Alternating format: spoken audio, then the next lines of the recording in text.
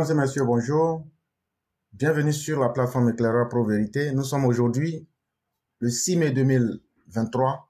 C'est toujours un plaisir énorme que vous nous offrez à pouvoir partager le peu que nous savons, mais en nous mettant surtout dans l'esprit d'apprendre assez avec vous. Je dis merci à tous ceux et toutes celles qui sont avec nous. Et demain, effectivement, comme nous l'avions dit, à midi heure de New York, ce qui correspond à 16 heures d'Abidjan, deux dignes fils du Worodougou, en la personne de Mété Tefeu et du Premier ministre Moussa Bakayoko, vont nous entretenir euh, sur des sujets concernant le Worodougou, surtout son développement, les stratégies qu'il faut pour développer la région et pour amener l'unité. Voilà l'objectif fondamental. Nous ne serons pas là pour créer plus de discord, comme l'a dit le roi.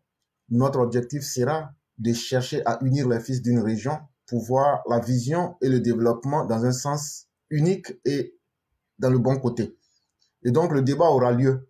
Et tous ceux et toutes celles qui veulent participer, à partir de votre téléphone Messenger WhatsApp, vous pouvez déjà m'envoyer un message à Éclaireur Pro Vérité bis pour dire que vous voulez participer. Et dans le meilleur des cas, on a une série de questions qu'on va poser à chacun des intervenants. Et après leurs interventions, on va laisser les uns les autres intervenir puisque nul n'a le monopole de la connaissance. Les filles et les fils du Worodu qui pensent qu'ils peuvent ajouter certaines choses qui pourraient être utiles à la bonne compréhension, qui peuvent nous amener dans le sens de l'union et de la fraternité, ce sera dans cet esprit que nous allons organiser cette émission. La deuxième chose qu'il fallait savoir, c'est qu'une société qui veut aller de l'avant doit aussi combattre la corruption sans merci et sans coup férir. Et actuellement, il y a une corruption à ciel ouvert qui est en train de se passer à Yopougon. Vous vous souviendrez, il y a peut-être une ou deux années, on a mis fin à une magouille à un centre, dans un centre des impôts à Yopougon. Malheureusement encore, c'est Yopougon encore qui fait parler d'elle et je vous explique les faits. Il y a un professeur DPS dans un centre d'examen au bac qui a pris la mauvaise habitude de demander 3000 francs CFA à chacun des élèves pour que lui puisse faire un arrangement à la notation. Et ça, je ne vais pas le cacher, ça se passe au lycée municipal de Pierre Gadier de Yopougon. Le centre d'examen où cette corruption-là se passe et se passera, c'est au lycée municipal de Pierre Gadier à Yopougon. Le nom du chef de centre, c'est M. Nyang Esso. Je n'ai pas dit que c'est M. Nyang Esso qui est en train de faire de la corruption. Je dis c'est un professeur DPS qui va aller au lycée municipal de Pierre Gadier de Yopougon où M. Nyang Esso sera le, le chef du centre d'examen là. Il y a un professeur DPS là-bas. J'ai déjà son nom, j'ai toutes ces informations. C'est ce monsieur-là qui est en train de demander, ce professeur DPS-là, qui est en train de demander 3000 francs, 3000 francs aux élèves. Comme ça, lui va les arranger dans leurs notes. Et il a donné rendez-vous aujourd'hui, samedi 6 mai 2023, entre 8h et midi, à ceux qui veulent payer pour le rencontrer à l'IGES de Yopougon. IGES Yopougon, ce qui est une école privée. Chers messieurs, sachez que cette information qui nous est parvenue, il est déjà midi passé à Abidjan.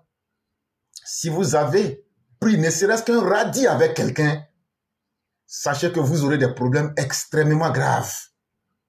Je parle du professeur en question, DPS.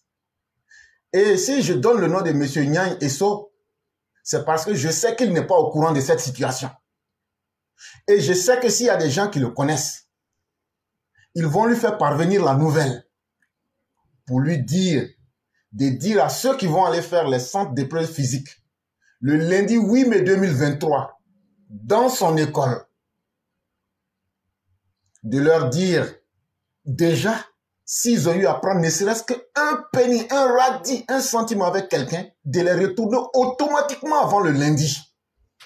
Sinon, après le lundi, si nous avons confirmation que un seul centime a été pris, on mettra la photo, l'image et toutes les informations du professeur DPS en question et on va le traquer dans la ville jusqu'à ce dernier retranchement et lui faire vomir par la force ce qu'il aura injustement pris avec des pauvres élèves et des pauvres parents. Mais finalement, quelle leçon voulons-nous enseigner à notre société? Finalement, si nous déjà, on commence même en tant que des enseignants, des pédagogues, des didacticiens, à donner les mauvais exemples, demain, on s'étonne que la société aille de mal en pire. Et ça, il faut que ça cesse. Donc, si toi, tu es à Yopougon, si toi, tu es un parent qui est à Yopougon, si toi, tu es un parent, ce que je dis là, tu penses que ce n'est pas vrai, va vérifier et viens ici pour venir dire que tu as menti devant tout le monde. Si ce que j'ai dit, toi, tu es un élève, tu sais que tu vas être en train de faire ton, tes épreuves physiques, DPS, au lycée municipal de Pierre Gadier à Yopougon, si tu vas sur le terrain, que tu as été victime, que tu as payé l'argent aujourd'hui, là, il faut rentrer en contact avec moi. Si ton enfant t'a dit de payer 3000 francs pour qu'on l'arrange au concours du bac à l'épreuve physique, prends contact avec nous, viens confirmer ou bien viens démentir ce que je suis en train de dire. Je le répète, M. Nyang Esso n'a rien à voir là-dedans. C'est même une interpellation pour lui dire qu'il y a un professeur DPS qui a pris de l'argent aujourd'hui exactement, si ça a été fait, 6 mai 2023, sous prétexte qu'il va arranger les élèves. Et donc, c'est des modèles qui doivent cesser et nous préférons dénoncer. Et monsieur Esso, sachez que nous sommes derrière des écrans, mais on voit beaucoup de choses, on entend beaucoup de choses et on a aussi des capacités. Et cette histoire ira plus loin que les uns et les autres pourraient l'imaginer. Et donc, ce qui est mieux, ce serait de mettre fin à cette histoire-là. Et donc, nous allons passer directement à nos différents sujets et certainement nous reviendrons sur cette affaire qui ne restera pas sans conséquences. Ça, nous pouvons promettre cela. Sujet numéro 1, finance, transfert de fonds de la diaspora ivoirienne en 2022. Plus de 198 milliards de francs CFA investis en Côte d'Ivoire. La diaspora ivoirienne en 2022 a transféré plus de 198 milliards de francs CFA en Côte d'Ivoire, soit pour un de consommation, soit pour entreprendre quelques activités rémunératrices. Ce chiffre provient de la Banque mondiale Selon le directeur de la mobilisation des compétences et des ressources de la diaspora, le professeur Adama Ouattara, représentant le directeur général de la diaspora, lors de la cérémonie d'ouverture de l'atelier de présentation des opportunités de financement pour les entreprises issues de la diaspora ivoirienne. C'était le 27 avril 2023 à l'hôtel Tiama à Abidjan au Plateau. Monsieur le professeur Adama Ouattara a fait savoir que la diaspora injecte des fonds en Côte d'Ivoire chaque année et qu'il faut prendre des dispositions pour que ces fonds soient utilisés à bon escient. C'est l'objet, a-t-il dit, de l'atelier en vue de favoriser l'investissement direct. Il faut montrer les opportunités aux opérateurs qui souhaitent investir en Côte d'Ivoire, a-t-il annoncé. Non sans omettre le mécanisme d'appui. Le professeur Ouattara estime qu'il faut faire de la diaspora un puissant acteur du développement de la Côte d'Ivoire. Nous devons trouver des solutions aux difficultés de notre diaspora et les difficultés qu'elle rencontre pour son insertion dans le pays, a-t-il révélé. Le directeur du cabinet adjoint du ministère d'État, ministère des Affaires étrangères, de l'intégration africaine et de la diaspora, Abdoulaye Kouyaté, représentant son ministre, a reconnu que la diaspora constitue une frange importante de la jeunesse ivoirienne. C'est la raison pour laquelle il promet que des dispositions doivent être prises en vue de mobiliser davantage de ressources pour cette frange de la population qui est indispensable au développement du pays.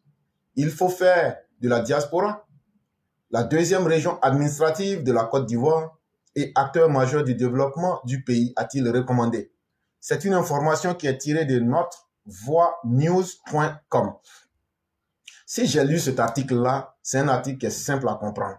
Imaginez-vous déjà les pauvres migrants, immigrants, quel que soit le terme qu'on voudrait, émigrés, immigrants, migrants, aliens, comme le disent même, on nous considère même comme des, corps étrangers. Parce qu'en en, réalité même, euh, le, le, terme alien en anglais, ça veut dire euh, quelqu'un même qui quitte dans un environnement complètement différent, dans un espace différent, un corps étranger.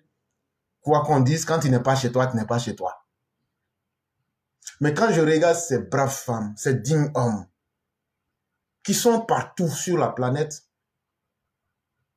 en train de chercher leur vie dignement, et quand je spécifie euh, ce problème-là pour revenir aux Ivoiriens, je dis merci à tous ces Ivoiriens et toutes ces Ivoiriennes qui, par milliers, luttent pour leur dignité, luttent pour donner un sens à leur vie. Je vais dire ici merci à tous ceux qui ont quitté un jour leur pays natal pour se retrouver à l'aventure, pour chercher à faire quelque chose de mieux et à se réaliser et à réaliser un avenir meilleur. Je voudrais profiter de cet article-là pour saluer tous ceux qu'on appelle chez nous au pays les aventuriers, surtout les aventuriers conscients. On est utile, vous êtes utile, nous sommes utiles. On a toujours dit ça. Quand vient l'aventure là, on vient avec l'esprit plein de rêves, mais après la réalité nous rattrape. Mais pour ceux qui restent lucides, ça nous permet de nous réaliser. Je salue chacune et chacun des aventuriers et des aventurières. Parce que ce n'est pas facile. Imaginez-vous quelqu'un qui est né sur un continent, il quitte ce continent. Dans un continent, il y a un pays, il quitte ce pays. Dans ce pays, il y a un village, il laisse son village. Dans son village, avant le village, il y a la ville de naissance, il laisse ça. Il laisse ses parents, il vient seul. Cher aventurier, que vous soyez homme ou femme, vous êtes véritablement des hommes en grande puissance. Parce que décider de refaire une nouvelle vie, c'est pas tout le monde qui peut le faire. C'est pourquoi le Christ a dit, vous, vous, renaîtrez une seconde fois. Là maintenant, je fais euh, de l'extrapolation. En réalité, vous êtes déjà né deux fois. Parce qu'être capable de renaître de soi-même et de se donner un nouveau canal, un nouveau sens à la vie, ça se mérite. Et ça, il faut qu'on vous salue. Peuple de dignité, peuple d'honneur, hommes dignes, ceux mêmes qui savent aller au-delà d'eux-mêmes. Il faut qu'on salue ces personnes-là. Ce n'est pas toujours facile pour nous. Et, chers parents, ce ne sont pas les boulots de bureau que nous faisons ici.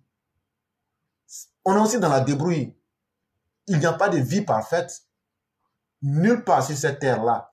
Mais c'est dans cette difficulté que ces gens-là peuvent mobiliser plus de 200 milliards, 198 milliards en une seule année pour la Côte d'Ivoire c'est déjà important. C'est des gens qu'il faut accorder toute l'importance qu'il faut. Vous qui avez des aventuriers dans vos, dans vos familles, mais vous ne les respectez pas. Tout ce qui vous intéresse, c'est leur argent. Vous ne les appelez pas pour savoir, hé, toi là, tu, te, tu, tu vois comment? Est-ce que tu es malade? Est-ce que tu as mangé? Les aventuriers là, ce sont des hommes aussi. Les aventuriers là, eux aussi, là, ils sont enfants de quelqu'un. Fiona Cora là, c'est enfant de quelqu'un. Sali Kone là, c'est enfant de quelqu'un. Yoli Dia là, c'est enfant de quelqu'un. Ladji Lametou, c'est enfant de quelqu'un. Alexandre Aoussou, c'est l'enfant de quelqu'un. Moi-même qui vous parle, je suis enfant de quelqu'un aussi. C'est pas extraterrestre. Donc là, les aventuriers là, ils ont cœur aussi. Eux aussi là, ils vivent, ils tombent malades. Toi, tu as aventuré dans ta famille. Le rapport qui est en toi est là, c'est à sens unique. C'est comment il faut envoyer l'argent. Il n'y a, pas qui est arrivé. On n'a pas peur pour payer. Ou bien c'est Tabaski qui est arrivé, tu vas payer combien de moutons? Faut, faut l'appeler pour lui dire un jour là. Ici, tout va bien. Toi-même, on, t'appelle aujourd'hui pour savoir est-ce que tu as mangé? Est-ce que tu as mangé? Est-ce que tu te portes bien? Ça va le surprendre. Depuis combien de temps? Depuis 20 ans, le monsieur est là. La, la, jeune dame a quitté. Mais vous n'appelez pas. Si c'est pas pour dire, il y a tel qui est mort, on t'a appelé, il faut envoyer contribution. Ou bien, on va aller faire euh, peut-être 1er janvier et il faut envoyer l'argent, on va aller payer les habits. Changer ce rapport-là avec les, aventuriers en Côte d'Ivoire, ce n'est pas bien. Maintenant, nous-mêmes, les aventuriers, là, arrêtons aussi de mentir à nos parents. On va pas rentrer dans les détails, puisque ça, j'ai voulu vous rendre hommage. Soyons vrais avec nous, mais soyons aussi vrais avec ceux qui sont restés en arrière. C'est vraiment très important. Il ne faut pas se mentir à soi-même. Et chers aventuriers, arrangez-vous à ce que votre vie ne soit pas une mésaventure à travers l'aventure. Parce que c'est deux choses qui peuvent facilement s'entremêler. De l'aventure, on peut passer facilement à la mésaventure. Tu es venu à l'aventure là. Il n'y a pas de contrat entre toi et Dieu que tu vas devenir milliardaire. Mais ça ne veut pas dire que tu peux pas toi-même là être conscient de toi-même là pour chercher à construire une petite cabane en banco. Tout ce qui est difficile là, faut payer un lopin de terre. Même si c'est maison en bois, tu as construit dessus là, même si c'est six au bois là, au moins là, c'est toi qui as payé, c'est pour toi. Je le réitère et je le redis. Ceux qui nous écoutent ici, qui sont des aventuriers sérieux, qui sont des gens sérieux envers eux-mêmes là, pardonnez, faites à cause de Dieu. Faites à cause de Dieu. Construisez, même si c'est une cabane, quand vous partez là, n'acceptez pas que les gens partent verser leur sorcellerie sur vous. Quand on dit quand tu vas, les aventuriers vont au pays, après les gens sont méchants avec eux, ou mais quand ils sont partis, hmm, j'ai vu comment les gens sont là. Frère, c'est parce que tu es reparti dans la cour familiale. Frère, c'est parce que tu es parti et puis tu es descendu chez quelqu'un, chez ton frère, chez ton cousin, mais chez un parent. Hé, hey, je suis allé à l'hôtel là, j'ai fait 10 semaines et puis je suis revenu là. Tu allais gâter ton argent. L'argent que tu as mis à l'hôtel là, en deux mois, tu as payé 500 000, 400 000 là. Ça peut payer terrain déjà à Zagnois. Ça peut payer terrain à Boisflé, ça peut payer terrain à On n'a pas dit de payer maison à Abidjan. On dit, il faut être chez toi. Quand tu es chez toi, là, quelqu'un va pas venir ici pour savoir que, pour te dire que tu es venu, tu as mangé leur riz. Toi, aventurier, tu vas et puis tu descends chez les gens, là. Après, on dit, c'est toi qui as descendu leur sac de riz en deux jours. Ils ont raison, c'est parce que tu étais là-bas. Mais si tu étais chez toi, là, et que tu es parti, tu n'as pas mangé, là, qui va te dire ça? Donc là, nous-mêmes, là aussi, là, nos comportements, on doit corriger. Tu t'habilles bien ou tu t'habilles mal, oh, c'est affaire de qui? En réalité, là, c'est ton compte bancaire qui fait la différence. Mais là, là, tu t'étais. Parce que tu n'es pas obligé de faire une publicité. Parce que quand tu travailles ici, là, est-ce que tu, te filmes pour montrer aux gens? Donc là, ton compte bancaire, là, quand il est bien aguerri, là, tu n'as pas besoin de parler. Toi, ton cœur est tranquille. C'est de ça qu'il est question. Pour se faire respecter, là, il y a aussi une méthode, une attitude à adopter. Arrêtez d'aller dans la cour familiale. Si tu vas dans la cour familiale, tout ce qui va t'arriver là, si tu t'es livré au sorcier là, que ta chaussure a disparu, ou bien ta chemise a disparu quand tu avais accroché ça au mur pour te laver là, c'est toi-même qui cherchais ça. Parce que c'est des choses, quand tu as l'aventure là, ça vient avec beaucoup de jalousie, de, beaucoup de convoitise. Parce que les gens pensent là-bas que toi tu as réussi, mais que tu es devenu méchant. Alors que ton loyer ici seul là, ça peut payer terrain. Loyer d'un mois ici là, ça peut payer terrain à Bidjan. Disons ça à nos parents, ce n'est pas facile. Et donc, c'est à nous d'être vraiment utiles à nous-mêmes mais aussi d'être utile à nos pays. On peut être utile à nos pays. À nos dirigeants, nous disons ceci. Nous, là, on a déjà fait, quelqu'un qui a déjà fait 20 ans, 30 ans, 40 ans dans un pays hors de l'Afrique, dans, dans les pays européens, là, sa manière de penser puis sa manière d'agir sont différentes. Essayez d'être plus pragmatique dans les relations que vous voulez avoir avec la diaspora. Soyez direct et concret. C'est ce qui peut arranger la diaspora. Sinon, tourner, tourner à côté, faire de la... Nous, on n'aime pas ça. Envoyer des projets concrets. Bon, diaspora, par exemple, le ministère de la mer Candia, là. Si elle a un coin pour ouvrir un coin, là, on dit, bon, tu es diaspora, quand il vient là, voilà tes papiers, on discute même pas. En collaboration avec Bruno, on dit, bon, pap, pap, pap, en deux semaines, on te donne tous tes papiers avec ACD propre, propre. Fini. Faut seulement prouver que toi, tu es un Ivoirien qui est à l'extérieur. Tu viens là, tu payes ton terrain, puis tu donnes d'eau. avec les papiers en main. Ça là, Mère Candia, ça va, ça va trop te lancer. Bruno, ça va te lancer. Donc là, au lieu de s'en choquer, les ministères ne savent pas ce qu'il faut faire là. Vous pouvez créer des partenariats. Par exemple, la diaspora, on peut choisir un endroit, même si c'est en dehors d'Abidjan, pas trop loin d'Abidjan. On dit ça, c'est pour la diaspora. Tu viens là, en une, deux semaines là, tu viens, tu payes ton terrain propre, propre, on te donne tout, tout, tout propre, et puis tu prends ton papier, tu rentres. Le jour que tu seras prêt à construire là, même si c'est chaque deux semaines tu viens au pays là, le peu que tu as eu là, tu viens là, toi-même là, tu es sur terrain, tu fais ça et puis tu te retournes. Ça là, si vous faites ça pour la diaspora là, Maman Kandia, on va savoir vraiment que vous avez été ministre des Affaires étrangères. Pensez à ça aussi. Bruno, il faut penser à ça aussi. Sujet numéro 2. La production de pétrole brut en nette progression. Le porte-parole du gouvernement, Amadou Koulibaly, a affirmé que du 1er janvier au 31 décembre 2022, les productions de pétrole brut et de gaz naturel sont respectivement estimées à 9,3 millions de barils et à 90,3 millions de BIT, correspondant à des débits de 25,5 000 barils par jour de pétrole brut et 247,5 000 BIT par jour de gaz naturel. Il s'exprimait à l'issue du Conseil des ministres tenu le 3 mai 2023 à Abidjan. La production de pétrole brut enregistre une progression de 6,01% par rapport aux résultats obtenus en 2021 à la même période. Cette performance s'explique principalement par la mise en production de nouveaux puits sur le bloc CI-27, combiné à une des plus grandes disponibilités des installations de champs Espoir. Quant à la production de gaz naturel, elle connaît une hausse de 7,76% liée à la croissance des ventes sur le bloc CI-27 à la suite de la mise en production de nouveaux produits et à l'augmentation de la demande en gaz, a expliqué le ministre. La valorisation de la part État de pétrole brut et de gaz naturel est estimée à 295,24 millions de dollars US, environ 185,63 milliards de francs CFA en hausse de 110% par rapport aux performances obtenues pendant la même période en 2021. Selon le porte-parole du gouvernement, cette tendance résulte des effets combinés de l'augmentation de la production et des prix de valorisation du pétrole brut et du gaz naturel. C'est une information tirée du CICG. Très facile à comprendre. Et donc, euh, si j'ai tenu à lire cet article-là, c'est un peu pour contredire un peu, euh, un peu le gouvernement en fait. Il y a le ministre Sangafoya qui nous disait que le pétrole a connu une hausse des prix. Mais en même temps aussi, l'article là nous dit aussi que notre production aussi a connu une hausse aussi. Donc ça veut dire quoi? Rien n'a changé. en tout cas, je ne sais pas si on se comprend. Voilà le ministre Sangafoya qui nous dit que le prix du pétrole a augmenté.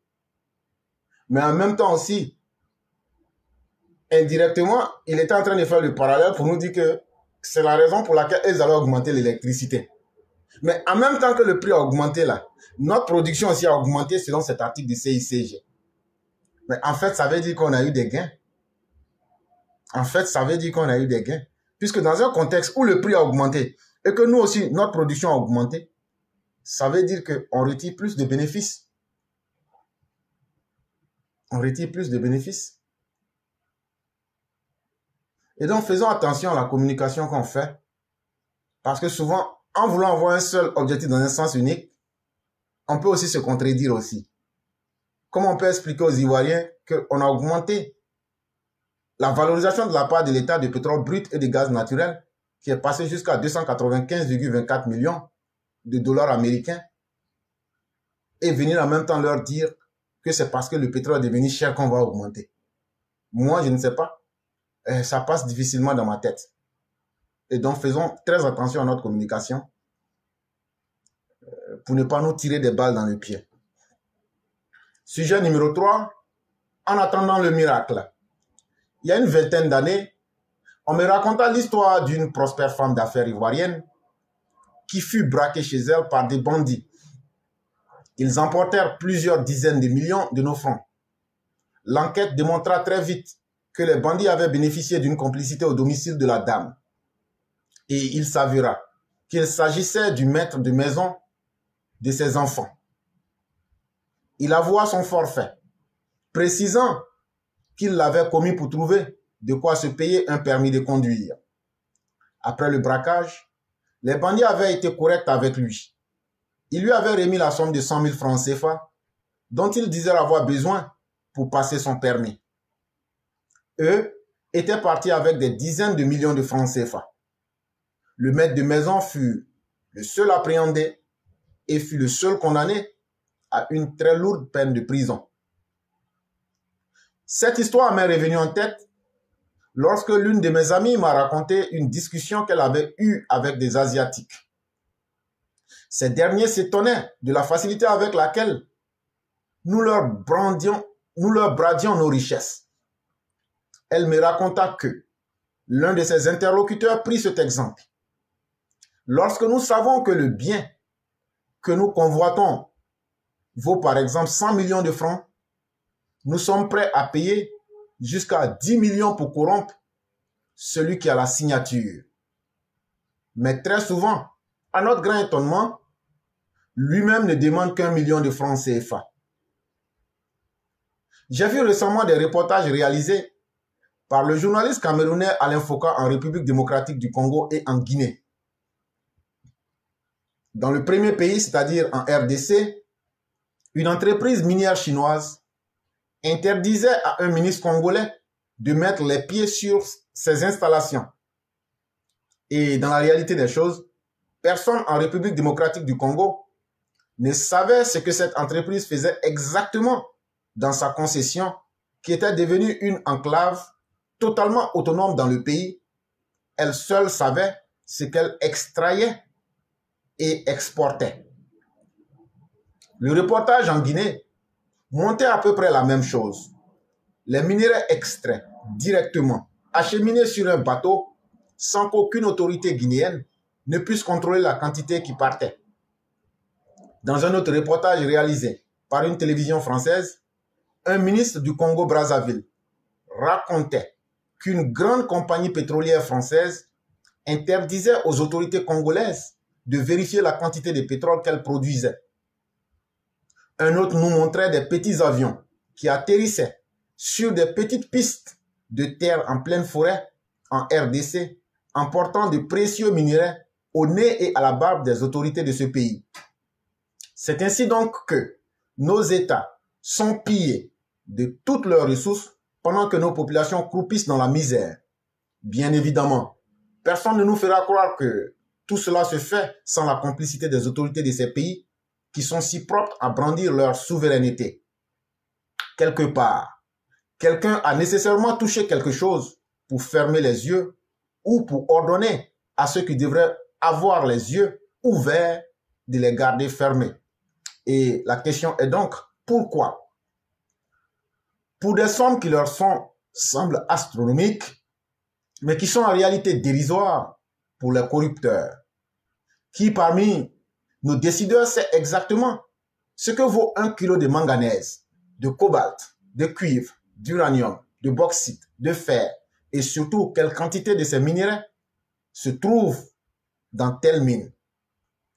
Ce qui intéresse le décideur est la somme qu'il lui faut pour réaliser un projet, genre construire une maison qui écraserait celle des voisins, acheter une deuxième, troisième ou quatrième voiture ou épouse, financer une campagne électorale, et j'en passe. L'intérêt du pays, hmm, secondaire, n'en parlons même pas. C'est une notion que l'on n'a pas encore réussi à traduire dans nos langues nationales. L'intérêt personnel, intérêt du clan, ça, ah oui, on la connaît. Il faut dire à la décharge de ces personnes que nos populations ne sont pas très exigeantes envers elles. Tout ce qu'elles demandent, ce sont des miracles. Et les vendeurs de miracles, il y en a beaucoup sous nos tropiques. Dans ma petite rue à Benjerville, il y a au moins cinq églises ou temples qui en promettent et elles ne désemplissent pas. Et certains vendeurs de miracles sont de vrais stars des réseaux sociaux qui ont dans leur relation des personnalités très haut placées au niveau de la hiérarchie des décideurs. C'était un article de notre père Venance Conan, un article qui touche plusieurs sujets à la fois, On espère que les uns et les autres auront compris. Quand on imagine un pays comme la Guinée où les Russes remplissaient les machines des métaux précieux, des pierres précieuses, et sous prétexte que ces machines étaient gâtées, ils partaient déverser ces pierres précieuses. C'est ce qui se passe au Mali, chers Maliens. Les mines que Assimi Goïta a données à Wagner, là. Vous qui dites que vous êtes souverainiste, demandez, est-ce que vous avez une fois vu un centime? Mais ce sont des dizaines de milliers de tonnes d'or qui sont ainsi dilapidés, alors que vous, les Maliens, vous souffrez. Et on vous vend de la poudre aux yeux. Ah non, vous êtes souverain. On va bien voir jusqu'à quelqu'un qui est souverain dans la pauvreté peut aller.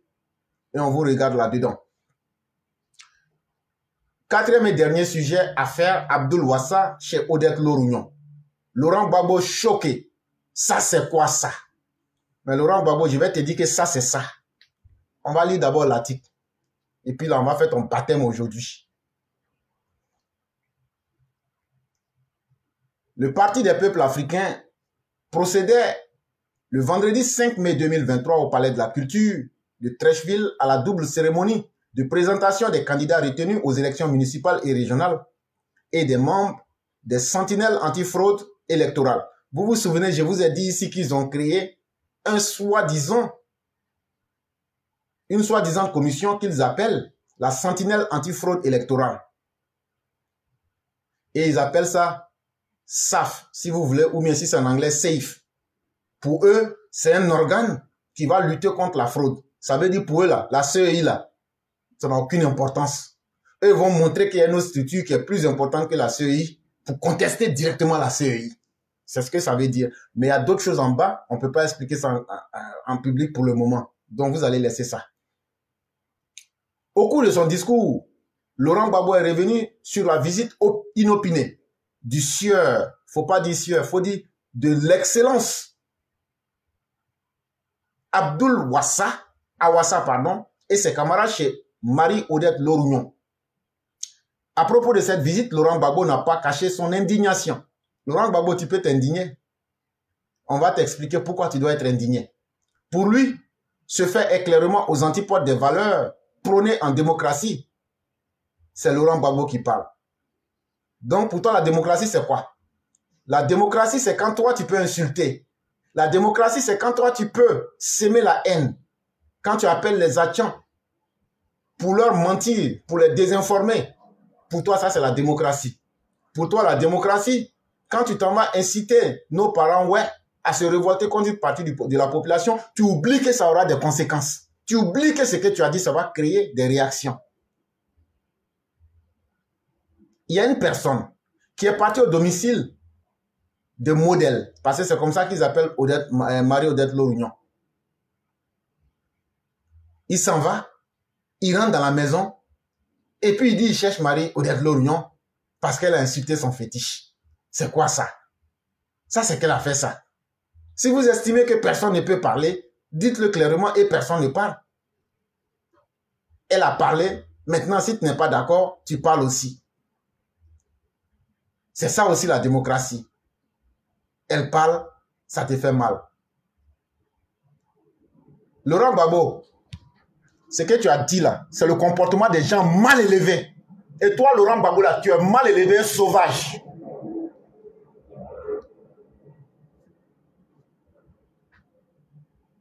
Parce que ce qu'Odette Lorignon a dit là, pour quiconque se souvient, c'est ça qui nous a conduit à faire une guerre civile en Côte d'Ivoire. Et quelqu'un qui est mal élevé là, comme toi Laurent Gbagbo là, la personne là se complet et se plaît toujours dans de mauvaises habitudes. Quelqu'un qui est toujours dans ces mauvaises habitudes-là, c'est une personne mal élevée. Et c'est pourquoi je dis que toi-même, là, tu es mal élevé en puissance exponentielle. Elle n'a pas que parlé, elle a incité à la haine. Mais elle l'a fait parce que c'est toi son modèle. Comment quelqu'un, toi tu insultes et tu laisses tes partisans insulter, comme tu l'as dit, les fétiches des autres. Mais quelqu'un qui insulte les fétiches des autres. Quelqu'un qui insulte parce que lui, ça lui plaît. Et pour toi, c'est ça qui est la démocratie. Ça s'appelle être mal élevé en société. Et Laurent Babo, tu es mal élevé en société. Et Laurent Gbagbo, tes partisans sont très mal élevés et sont dénués de toute compétence humaine positive. Parce que tout ce que vous savez faire, c'est inciter à la haine, c'est créer la chienlit dans la société. Et parce que vous avez une intention, c'est de provoquer la violence dans ce pays. Tu dis que union a parlé. On va écouter ensemble ici. Et tous les Ivoiriens qui ne comprennent pas, enlever caillou dans vos oreilles. Parce que si elle avait parlé pour donner des idées, pour donner son avis sur une question, ça c'est ce qu'on appelle parler. Mais venir insulter ou envoyer des gens pour insulter, ça ce n'est pas parler. Ça c'est s'attaquer à la dignité des autres. Mais quand tu t'attaques à la dignité de quelqu'un, Laurent Gbagbo, de facto tu lui donnes tous les droits de réagir comme il veut. Puisqu'en Côte d'Ivoire, il n'y a pas de justice, et vous-même vous le clamez, vous le dites toujours, et ce qui est une vérité, Abdul Wassa, si c'était à refaire là, moi-même éclaireur pro-vérité, la prochaine fois, frère, si tu fais là, faut même pas te fatiguer pour faire. Dès que tu vas commencer là, dès que vous finissez là, je vous signe chacun un chèque de 100 000, 100 000. Toutes les personnes qui vont partir là, je leur signe Western Union, 100 000 francs, 100 000 francs à chacun de vous. Dès que vous finissez là, je vous donne. Ça veut dire que si c'était à refaire, là, on va refaire. Mais vous, tu as dit qu'elle a parlé. Elle a parlé comment et elle a dit quoi? On écoute ensemble ici et puis on va continuer.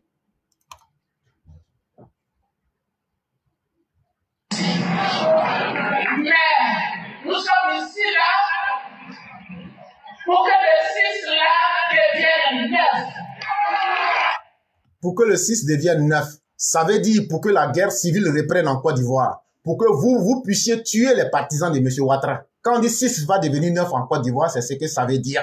Ça veut dire qu'il faut qu'il y ait une inversion du rôle. C'est Odette Lorignon qui est en train de dire ça. C'est en vidéo, ça est là sur nos pages. Nous sommes là pour qu'il y ait une inversion des rôles, pour qu'on puisse tuer les partisans de M. Ouattara et tous ceux qui ne sont pas d'accord avec nous. Et c'est ce que toi tu appelles parler. Et donc, ce qu'elle est en train d'inciter, à encourager à aller tuer les autres là. Eux n'ont qu'à s'asseoir pour ne rien dire.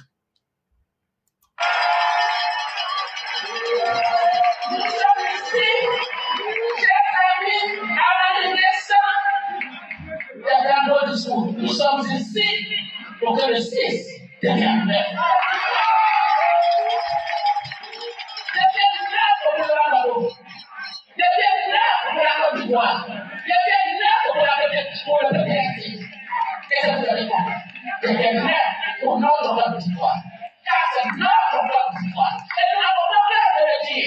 Et donc, si c'est vous, votre Côte d'Ivoire, et les autres Ivoiriens qui ne partagent pas votre, euh, vision, où vous les mettez? C'est ce en train de vous dire. Eux, ils vont les exterminer. Mais, pour eux, là, eux, ils ont parlé, ça ne doit pas faire mal à quelqu'un. On te menace de mort, ça ne doit pas te faire mal.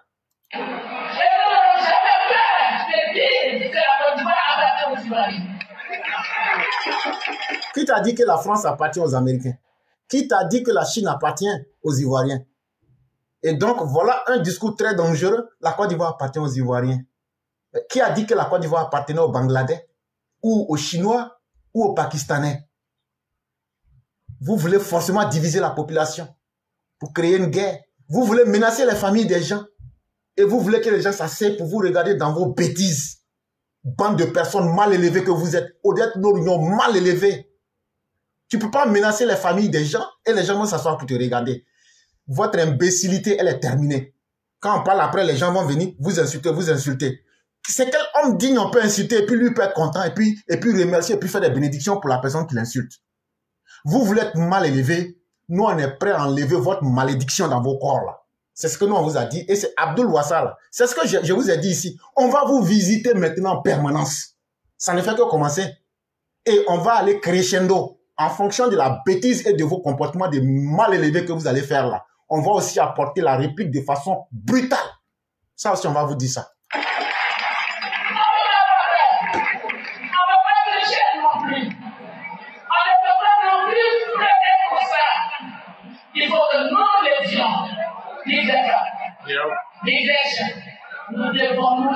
De toute façon, euh, ces vidéos-là existent déjà. On passe à la deuxième avant de progresser.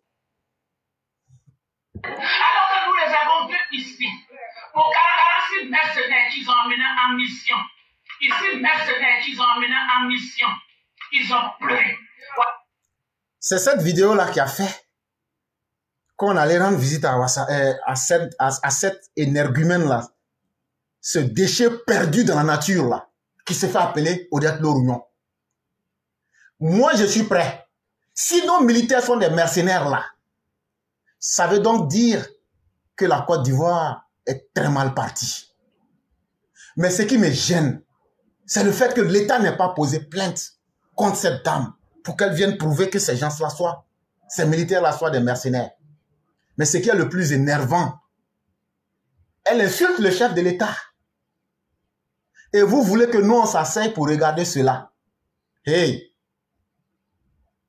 Odette Lorignon, quand vous dites de parler là, c'est ta maman qui a pleuré, c'est ton papa qui a pleuré. Alassane Ouattara là, lui n'est pas un enfant maudit comme ton Laurent Gbagbo. Lui n'est pas un ver de terre ambulant comme ton faux dieu de Laurent Gbagbo. Lui n'est pas mal élevé parce que lui au moins, Alassane Ouattara, il connaît son père et sa mère et il a eu une éducation digne. C'est pourquoi il ne se comporte pas comme un chien galeux et un chien furieux dans ses rapports avec les autres. Et donc, dites Dieu merci. Les familles de ces gens n'ont pas posé plainte contre vous. Dites Dieu merci. L'armée ivoirienne n'a pas posé plainte contre vous. Mais l'armée s'appelle par définition la grande muette. Un jour, il y a quelqu'un qui va vous enflammer. Parce que c'est une armée très digne. Elle s'assoit, elle vous regarde. Mais ne pensez pas que eux tous peuvent être contrôlés. Un jour, il y a quelqu'un qui va vous enflammer. Et c'est là que vous allez comprendre que là où commence la bêtise, il y a des gens aussi qui savent et qui sont prêts à la réprimer. Il a pleuré dans tous les pays, en France, partout pour qu'on libère les mercenaires. Les libère les mercenaires. Les mercenaires n'ont pas le droit de faire la prison, mais ce sont les Ivoiriens qui doivent être en prison. Et il y a Guédé Gbeli qui dit plaisantin. C'est la maman de Laurent Gbagbo qui est plaisantin. C'est le père Silla de Laurent Gbagbo là qui est plaisantin. Mais c'est un énergumène. Et c'est un sujet fatal. Et c'est un homme perdu dans la nature. Et le papa de Laurent Gbagbo, ses parents et Laurent Gbagbo lui-même sont des pourritures de l'existence humaine qui ne méritent même pas d'être sur la terre. C'est ça aussi qui est la vérité aussi. Et si vous êtes des véritables garçons là, ce que je dis là, la plateforme là, tu vas sur ta page là, ton profil là, tu tapes éclaireur pro vérité bis. Tu viens, on va parler ici en direct, devant tout le monde. Nous, on n'est pas des enfants mal élevés comme vous. Il y a une chose qui est de parler. Je me cache parce que je suis dans la chambre avec ta maman. Ce que ton papa fait dans ta chambre avec ta maman là, c'est ce que je suis en train de faire actuellement avec ta maman. C'est pourquoi je suis, je suis caché, tu ne peux pas voir. Donc si tu veux regarder en bas de ta maman là, c'est que tu es prêt à voir mon visage. Chers parents, vous m'excusez, hein, mais comme ils veulent qu'on soit sauvage, Laurent Babo dit de parler, non? On va parler. Comme tu veux savoir où je suis là, pourquoi je me cache là? Actuellement là, je suis en train de faire ce que ton papa fait à ta maman là. Donc si tu veux voir en bas de ta maman là, c'est que tu vas voir mon visage. C'est ce que je vais te dire. Et donc on continue. On veut dire ce soir au monde entier que le président, le grand président de la Côte d'Ivoire, c'est lui le fils du pays, il s'appelle Laurent Gbagbo. Laurent Oudou Gbagbo. Il- C'est lui seul, c'est le président de ce pays. Laurent Gbagbo, Laurent Gbagbo, toujours Et puis on est là. Et c'est lui qui est le grand président, il n'est pas étranger, son père, sa mère sont des Ivoiriens. Quelqu'un qui vient d'ailleurs, Dieu t'a dit, il faut t'asseoir, et puis tu dis que tu apprends la Côte d'Ivoire, c'est faux. C'est parce que lui, notre président Laurent Gbagbo, c'est pour lui que nous sommes tranquilles et puis on ne réagit pas. Oui. Mais il ne faut pas qu'on nous provoque. Il ne faut pas qu'il marche sur notre queue. Oui. On va se. Quand je vous dis les Gors sont sauvages, vous avez entendu. Mais vous, les Gors, vous êtes là. Vous êtes là par milliers. Placide Abega. Vous êtes là. Vous êtes milliers. Mais il n'y a pas un garçon parmi vous qui pourra prendre la parole. Parce que je suis prêt et je suis assis et puis je vous attends. Votre animal de compagnie qui se fait appeler Laurent Gbagbo que vous manipulez là. Son comportement de grenouille là. Nous, on va mettre fin à ça. Non, non, non. Hey, nous, on vous attend ce que tu peux faire là, tu n'as pas besoin de faire des publicités. Quand nous, on voulait faire rébellion là, on n'a pas crié, on n'a pas fait meeting. On a assumé, puis on a accueilli votre faux Dieu Laurent Gbagbo comme un animal et on l'a traîné devant tout le monde. Et on assume ça devant tout le monde et devant l'histoire. C'est de cela qu'il est question. Si vous êtes trop fâché là, allez créer votre rébellion et puis on va s'affronter. Parce que tout, tout, tout discours, hey, la démocratie ne veut pas dire la bêtise. Vous parlez, vous réagissez, on va être plus violent que vous. On est très bien pour ça. Ceux qui s'amusent à dire, on ne te voit pas là. Hey, moi, je n'ai pas besoin de la publicité. Je n'ai pas besoin que vous me dites que je suis beau ou vilain. Mais c'est que, pour ceux qui doutent là, si on me met dans votre famille là, je serai le plus beau de votre généalogie. Et je vais vous le dire aussi, je ne suis pas un misérable, une nécessité pour dire que les gens vont me voir et puis vont m'aimer. Je n'ai pas besoin de ça. Je ne suis pas misérable au point de chercher les sentiments d'autrui. Je sais m'assumer. Et quand je veux quelque chose là, je sais où l'obtenir. Et donc, je le dis, vous les insulteurs publics qui veulent prendre les insultes et les menaces, comment des gens sont là, les gens vivent en paix, et vous nous ramenez dans le même compte, et vous voulez qu'on s'asseye pour vous regarder. On va plus s'asseoir pour vous regarder. Abdul Wassa, si c'était à refaire là, tu refais la même chose, moi là, éclaireur pro-vérité là, je donne 100 000 francs, je le dis très bien, à chacune des personnes qui iront, qui iraient là-bas. Ça veut dire on va multiplier le nombre. Et si je suis incapable de le donner, je prends les élèves de la classe là, on va les désigner, chacun va envoyer 100 000, 100 000. On va le refaire. Laurent Babo, la prochaine fois qu'on va vous rendre visite là, ça ne sera plus 50 ou 20 personnes, mais attendez voir un déluge humain. Et attendez voir des conséquences qui vont s'en suivre. Parce qu'on va plus vous pardonner. Maintenant que vous avez posé tous ces propos que je viens de faire entendre là, ça amène à quoi si ce n'est que le désordre social, à faire tuer des citoyens et des innocents et vous voulez que non, on s'asseye pour vous regarder dans cette chienlit-là. Il faut que vous compreniez quelque chose. La Côte d'Ivoire, dirigée par la Ouattara, là, c'est pas un champ de patates où on peut dire n'importe quoi, faire n'importe quoi. Tu agis comme un sauvage, nous on te prend, on te désenvoûte en pleine journée. Cher vieux grigou, vieux perdu, individu sans valeur que vous êtes. Comment vous pouvez être maudit jusqu'au point où vous qui vous estimez que c'est Dieu qui a écrit le titre foncier de la Côte d'Ivoire pour vous, quand on vous demande qu'est-ce que vous avez apporté, rien. Mais vous êtes là en train de sortir des insanités et vous dites non, non, non, ce n'est rien. C'est pourquoi nous aussi on est prêts. On va vous traquer et vous couper vos queues et puis mettre ça dans vos bouches. Je vous ai dit, oh, quand je vais parler, les gens vont dire je parle mal. Mais les animaux qui viennent, qui veulent voir, c'est noir, c'est vert là. Je vous ai déjà donné une première réponse. Si vous voulez que je répète là, il y a pire que je peux dire que ça. Mais je m'arrête à ça d'abord ici. Et donc, on continue à écouter. On va se lever, nous les femmes, nous sommes prêts. On n'a pas peur d'eux. On va rester. On.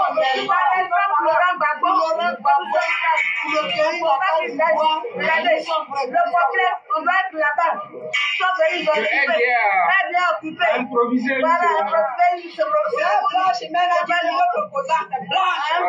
C'est la Côte d'Ivoire. Elle est elle est dans son pays. J'aime aussi, tout le monde sait que j'aime aussi. Ouattara aime aussi, c'est pas grave. Mais votre Laurent Gbagbo là, lui on connaît même pas son papa. Sa maman là, c'est une coquelet, prostituée, tout tout, jantra, sao, bordel, brodet, tapis devant marché. Maman Gado là, sauf ceux qui ont refusé au village, tout le monde est passé dedans. Passoire public. Femme portée pota. Jusqu'à faire enfant méconnu et inconnu qui s'appelle Laurent Gbagbo. Symbole, sac à malheur.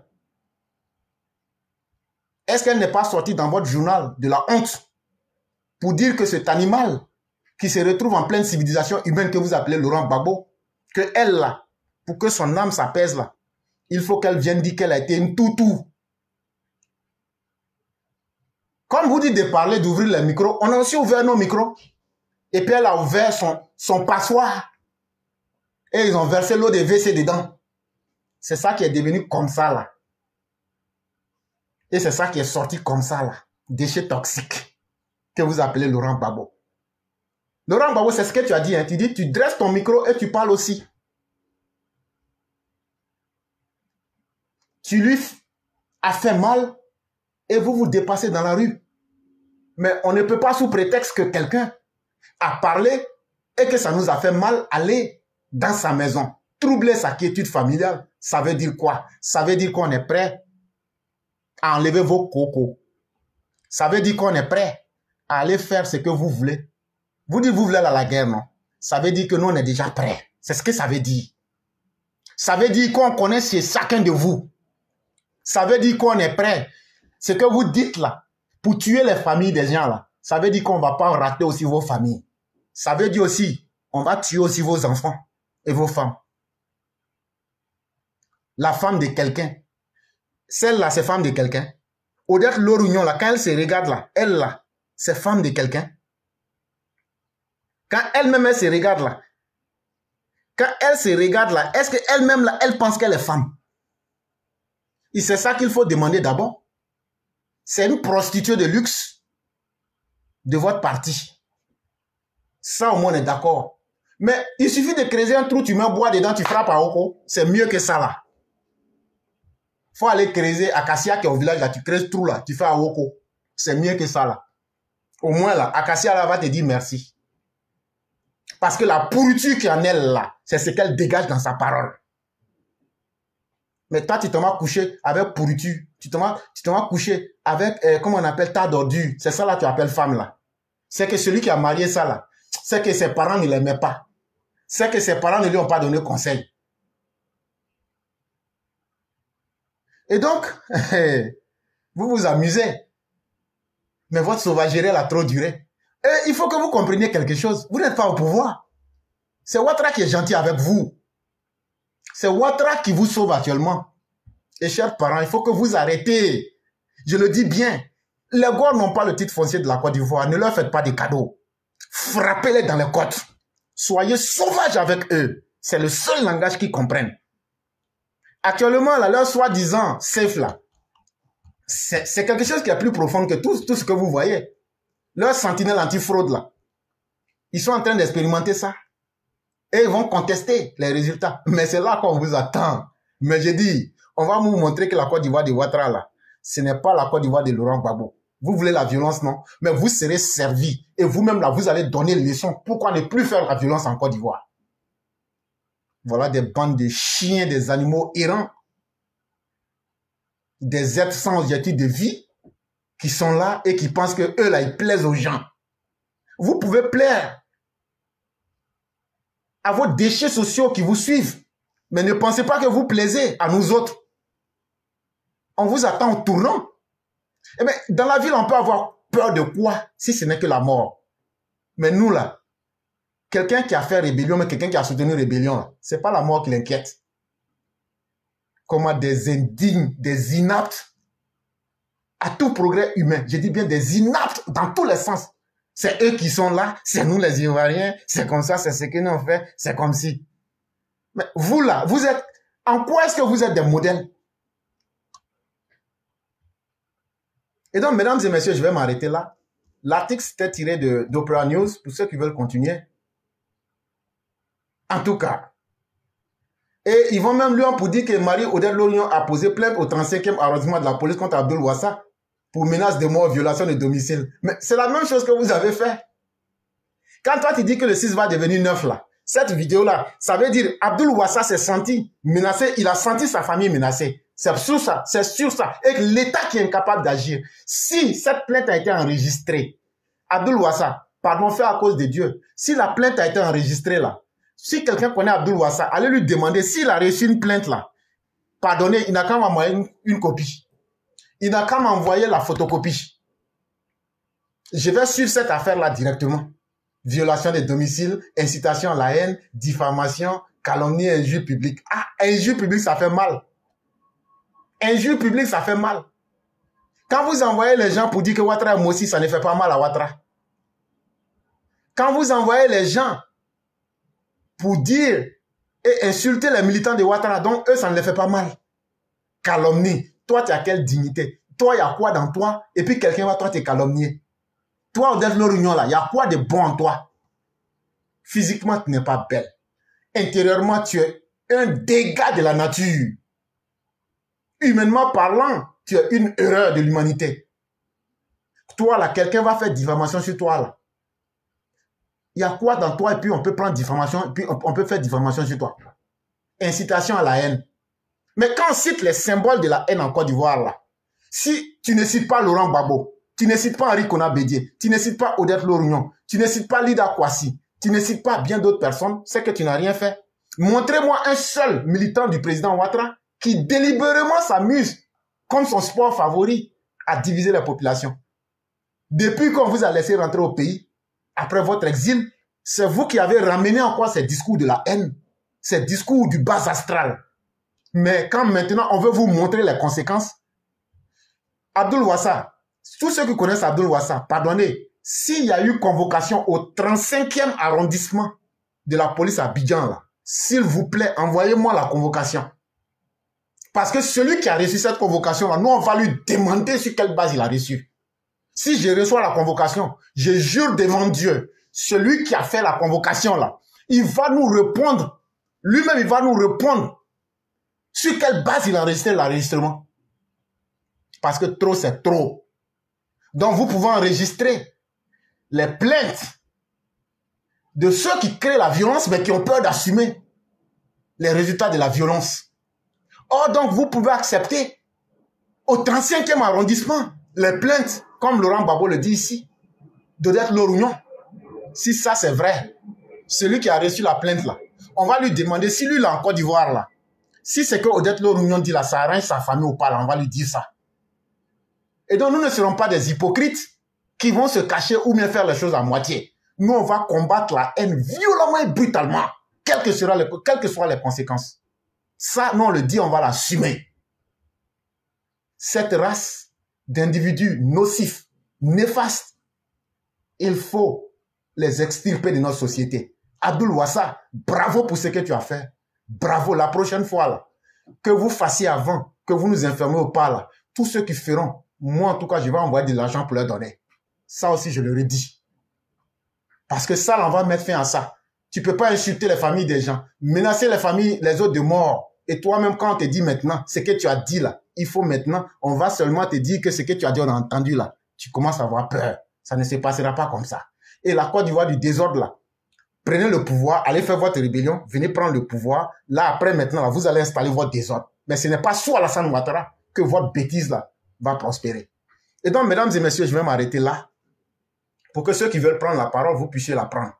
Et Dieu merci, on est dans un monde où on ne peut plus rien cacher. La visite d'Abdoul Lancet, ça s'est passé quand? Les vidéos que vous avez écoutées là, où elle a insulté le président de la République, où elle a insulté une partie des Ivoiriens, où ils mettent des vieilles dames pour insulter le président Ouattara contre de Burkinabé. Elle-même, Odette Lorignon, qui traite nos soldats de mercenaires. Ce jour-là, on va savoir. Et quand elle dit que le 6 va devenir 9, je vous ai déjà expliqué, on va aussi leur demander quels sont ces événements qui ont précédé le fait qu'Abdoul et sa bande soient allés lui rendre visite et pourquoi ils sont allés lui rendre visite? Quand on saura les événements qui ont précédé, vous comprendrez donc l'affaire. Mais c'est qu'on n'aura plus peur. Parce qu'on n'en a jamais eu peur. On n'a jamais eu peur de vous affronter. Mais la seule difficulté, c'est Ouattara. Sinon, si Ouattara n'est pas là, là, vous-même, vous savez ce qui va se passer. On va changer votre langage en quelques minutes. 6 heures du temps, c'est suffisant pour nous. Je le dis bien, 6 heures du temps pour nous. Et donc, tous ceux qui sont en train de se distraire, non, c'est fini. Hey, que vous le voulez ou pas, ces gens-là vont vous imposer une deuxième violence en Côte d'Ivoire. Que vous le voulez ou que vous ne le voulez pas, là, ils vont vous imposer une seconde violence. Apprêtez-vous à assumer et à les défaire radicalement. C'est ce que moi je peux dire à tout le monde. Apprêtez-vous de quelque manière que ce soit à pouvoir leur donner le coup de poing fatal dans leur côte et dans leur ventre pour leur faire vomir leur haine. C'est de cela qu'il est question. Et donc, mesdames et messieurs, on est pris par le temps, comme vous le savez. Nous ne sommes pas des vauriens. On doit aller chercher notre petit pain. On a aussi des impératifs de famille. Ça fait que nos vidéos, si vous remarquez, il y a des jours où on est très long, il y a des jours où on n'est pas long. Aujourd'hui, c'est un jour, on ne sera pas très long. Si quelqu'un veut la parole, il est 11h08. S'il vous plaît, signalez-vous en même temps. Signalez-vous en même temps. Dès qu'il sera l'heure qu'il fait chez vous là, et puis vous voyez 13 là, faut plus appeler, faut même plus demander la parole. Et donc, signalez-vous, on va vous prendre, vous mettre en, panel. Si vous appelez une fois, vous coupez. Si ça sonne une fois, deux fois, vous coupez. On va vous prendre et puis vous allez vous exprimer en cinq minutes, comme on l'a fait hier, pour pouvoir progresser. Parce qu'on est vraiment pris par le temps. Et donc, tous ceux qui veulent prendre la parole, signalez-vous, on va vous ajouter et on va procéder comme hier. Ça sera la seule manière de nous en sortir, puisqu'on n'a que 1 heure 10 minutes pour pouvoir réaliser l'émission du jour en permettant aux uns aux autres de pouvoir parler.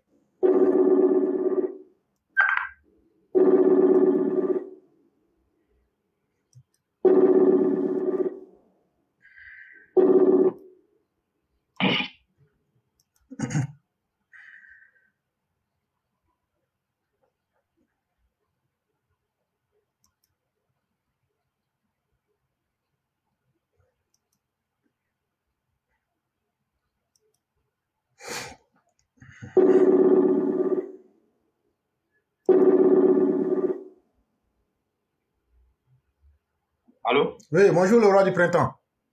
Bonjour, euh, comment ça va? Ça va très bien. Donc, je vous laisse la parole en même temps. Allez-y, parce qu'on est vraiment pris par le temps. Donc, vous avez cinq minutes. Vous parlez. On va faire Ça comme va. hier. Je vais essayer d'ajouter les autres. Donc, vous commencez déjà euh, vos, vos propos. Je vais ajouter les autres. Après vos cinq minutes, on va essayer d'aller ainsi de suite. Ok, euh, merci beaucoup. Merci à tout le monde. Et merci aux élèves de la classe. Et moi, je vais commencer euh, dans un premier temps sur euh, le RHDP. Et la fois passée, euh, il avait été annoncé que le directoire devait, devrait faire une conférence de presse et, euh, concernant la, la restructuration du parti qui a été lancée depuis, euh, depuis, je crois, un an. Et c'était pour faire un bilan et puis en même temps voir les perspectives à venir. Et je crois qu'au cours de cette conférence de presse, euh, beaucoup de questions ont été évoquées et ils ont fait un peu le tour de l'actualité, y compris aussi euh, le bilan euh, qu'ils ont essayé de faire. Et après, j'ai écouté un peu Traoré propos mettez-vous sur muet. Le roi, pardon. hein. Traoré Vasse, mettez-vous sur muet. Si tu regardes bien ton écran, voilà, il y a un petit micro là. ok, ok, ok. Voilà, tu cliques sur ça. Ok, voilà. Oui, oui. Vous avez cliqué? Voilà, c'est fait maintenant le roi. Vous avez vos cinq minutes le roi. Ok. Et après, j'ai pu écouter les propos du, du secrétaire exécutif euh, du RHDP. Mais bien avant de me prononcer euh, sur, son, sur ses propos, et aussi nous avons vu euh, la jeunesse du parti et dont euh, le porte-parole était le secrétaire national chargé des, des grains et des mouvements à la personne de Ouattara Karim. Il y avait plein de jeunes et qui ont apporté leur soutien au directoire dans le sens de soutenir le directoire contre d'éventuelles euh, candidatures indépendantes. Mais ce qu'il faut préciser, euh, c'est que les structures du parti sont des entités euh, qui sont liées au directoire et au secrétariat exécutif.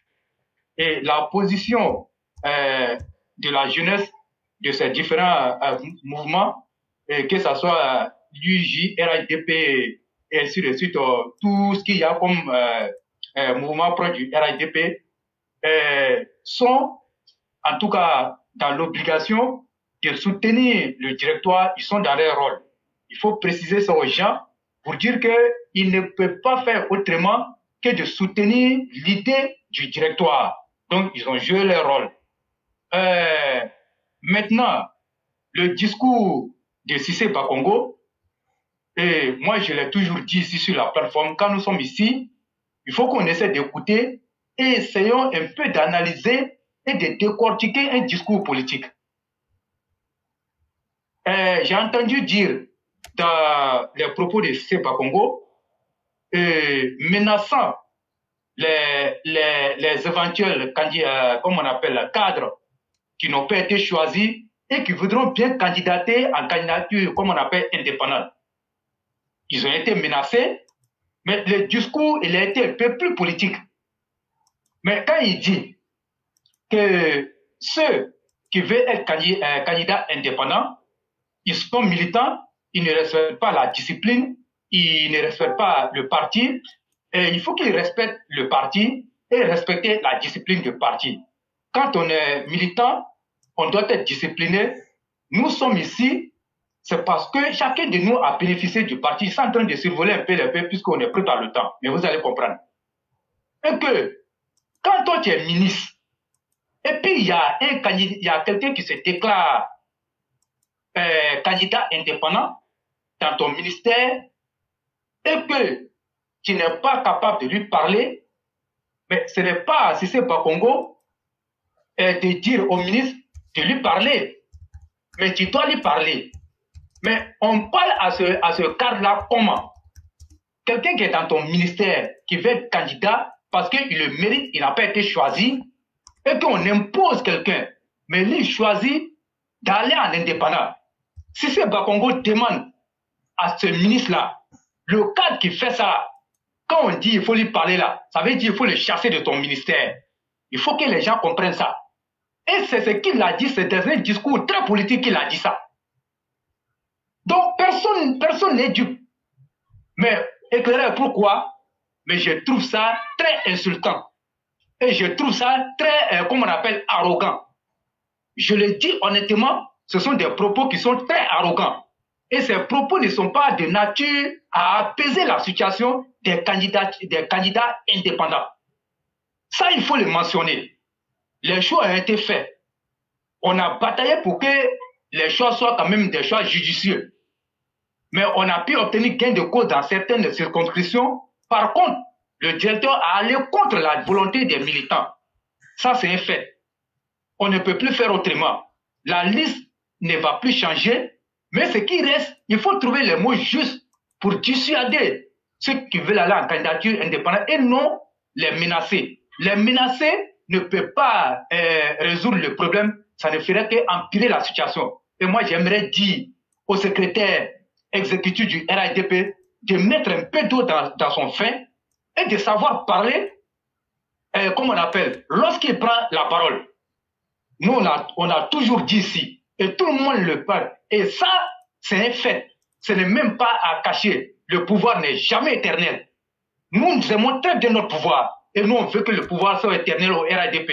Mais, mais une chose qu'on doit retenir, c'est que le pouvoir ne peut jamais, en tout cas ne sera pas éternel au RADP. On peut durer au pouvoir. Mais moi, j'aimerais dire à Sissé Bakongo d'avoir un grand respect pour les militants. Parce que ceux-là aussi sont des militants. De sortir dans le mépris. Il faut qu'ils sortent dans le mépris. Et ces propos vont tôt ou tard le rattraper. Si lui n'avait pas été euh, là, à ce poste-là, mais ce qu'il est en train de dire, n'allait pas dire. Et moi, je vais aussi dire aux gens que les mêmes si c'est Bakongo qui parle aujourd'hui vont soutenir des candidats, des candidats indépendants dans l'ombre. Je ne vais pas aller plus loin que ça. Beaucoup de cas que vous voyez qui sont à la table des séances en train de parler, les mêmes vont susciter des candidatures indépendantes pour aller contre ceux-mêmes qu'ils ont choisis. L'histoire est un témoignage. Moi, je sais de quoi moi je parle. Et donc, en un mot, si c'est Bakongo a demandé que celui qui est, est- est un militant qui est dans un mini- ministère est là-bas, si le ministre a été choisi, même si le ministre n'a pas été choisi, si tu travailles dans un ministère, puisque c'est nous on est au pouvoir, et puis tu refuses Les cinq minutes Euh, la dis- ou la discipline du parti, on n'a qu'à te chasser. C'est ce que si c'est Bakongo a dit. Mais comme mes cinq minutes sont atteintes, j'allais me prononcer sur le PPACI, et bon, je vais m'arrêter là. Ok, non. euh, Lorsqu'on va vous donner votre temps, c'est à vous de l'utiliser et d'être condensé pour pouvoir. Donc, après, vous pouvez finaliser ce que vous avez et puis continuer rapidement dans vos cinq minutes. Donc, essayez de, de, de retenir ce que vous avez à dire. On va revenir à vous. Et donc, on va passer va. à la deuxième personne qui est euh, Vas, si il est là. Bonjour, Vas. Bonjour frère. Oui, comment allez-vous? Oh, je vais très bien, je vais très bien. Voilà, donc vous avez la parole. Ok, merci d'avoir me donné la parole aujourd'hui. Comme, d'habitude, nous sommes les défenseurs.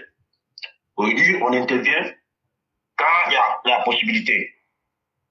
Moi, je vais intervenir sur le côté des PPACI.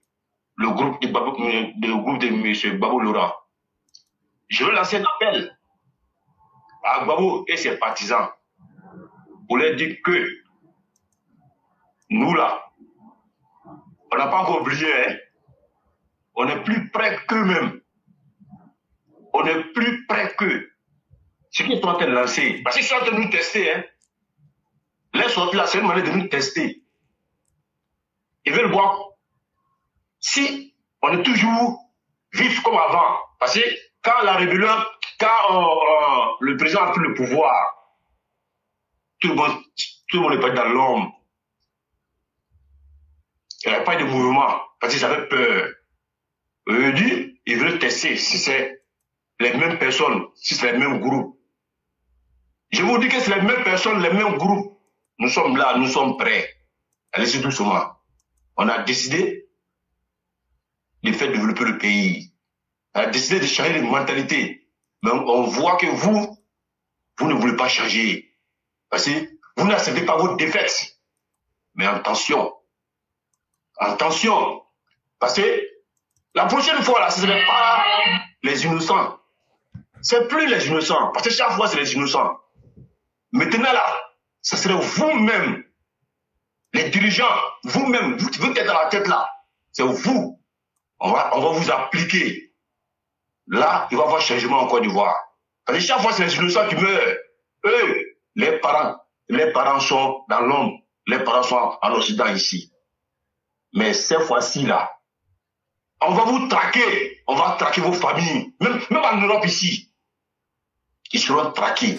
Donc c'est l'appel que je vais lancer d'abord aux gars de Babou et ses partisans pour leur dire, on est quand même doucement, on est toujours là. Hein? Donc, le c'est ce que je vais dire d'abord et j'attends. Je, je, je laisse la parole quoi. Il n'y a pas de problème. Merci. Merci infiniment. Et donc, on va donner la parole à Mère Fiona Koura qui est avec nous ici. Ok. Bonsoir, éclaireur. Bonsoir, Bonsoir à toute la classe. Bonsoir à mes co-panélistes. Euh, éclaireur, j'ai- envie de parler de Pulchéry euh, et puis terminer sur le PPACI si c'est possible. Alors, euh, on a entendu dire que euh, disait que la CEI actuelle, elle est confligène. Donc, euh, quand on parle de confligène, euh, on, on sait à quoi ça fait allusion. Ça veut dire que la CEI est euh, source de conflit, source de tension. Donc, ça veut dire quoi? Ça veut dire qu'ils sont en train d'alimenter euh, dans l'esprit de leurs militants une sorte de, de suspicion pour que euh, au soir du 2 septembre, euh, les, les, les, les résultats qui vont sortir des unes ne soient pas acceptés. Voilà. Donc euh, moi je pense qu'il faut faire très attention.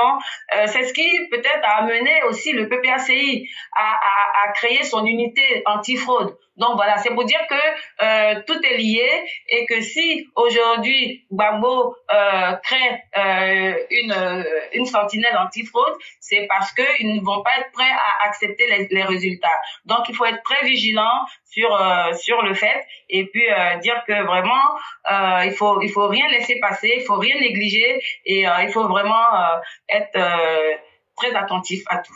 Voilà ce que je voulais dire dans un premier temps. Merci. Ok. Vraiment, merci beaucoup. Il faut prêter attention à tous les détails.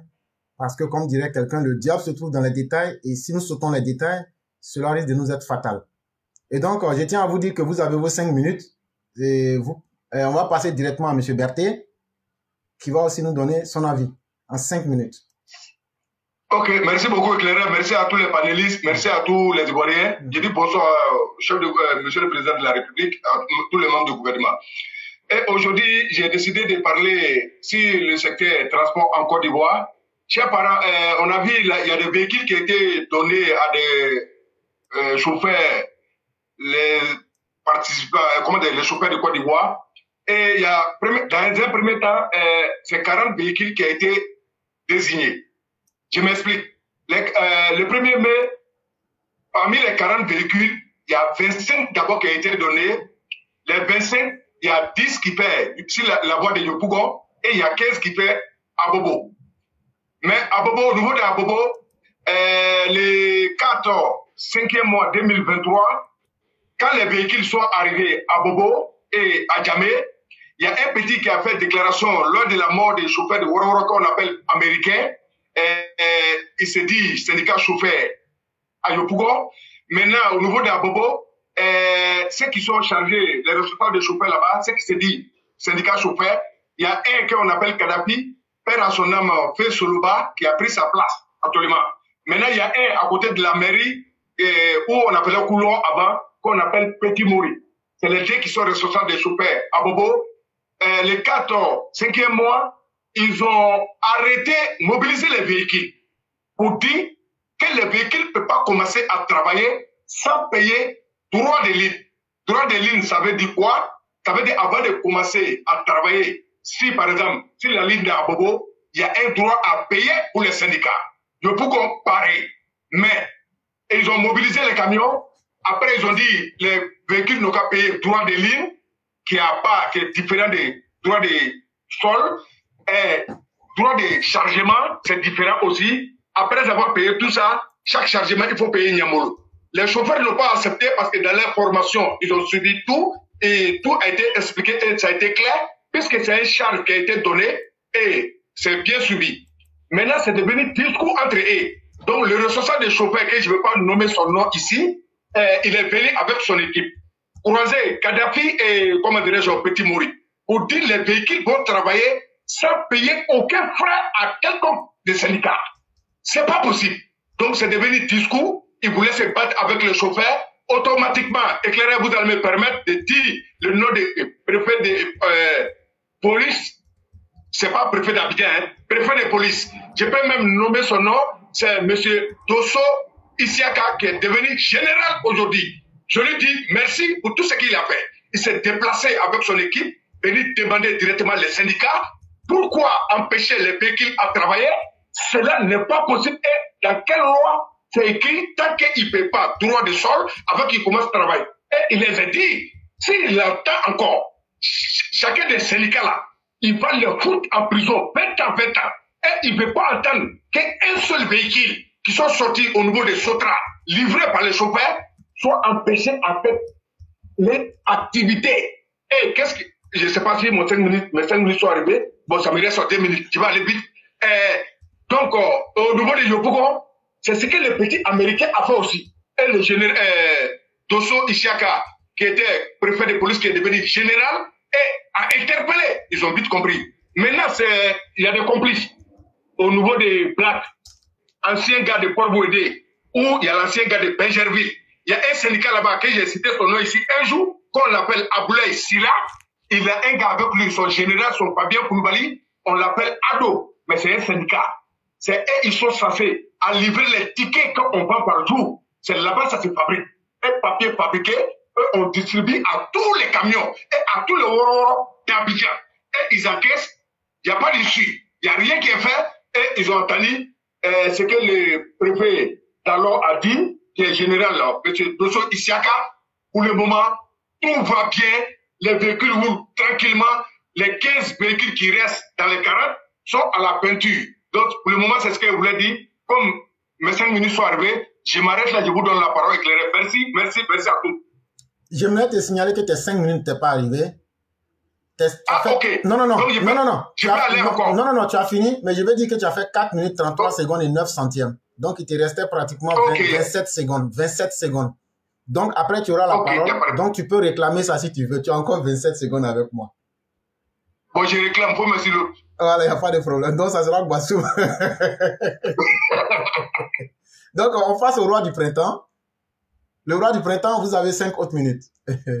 Allô? Oui. On est parti? Voilà. Voilà, je vais me prononcer sur, euh, euh, comment on appelle les, les, les, les- la, la porcherie Gore. Mhm. Et ceux qui sont, ceux qui sont sur notre plateforme ici et puis qui sont en train de, de s'exhiber sur la plateforme, il faut qu'ils se calment.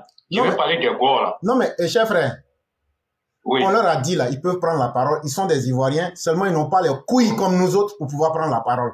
Il y a un qui dit que non. poltrons, non, non, il y a un qui dit par exemple que euh, ce sont les Français qui ont fait gagner Ouattara. Non, ce sont pas les Français qui ont créé la rébellion, cher frère.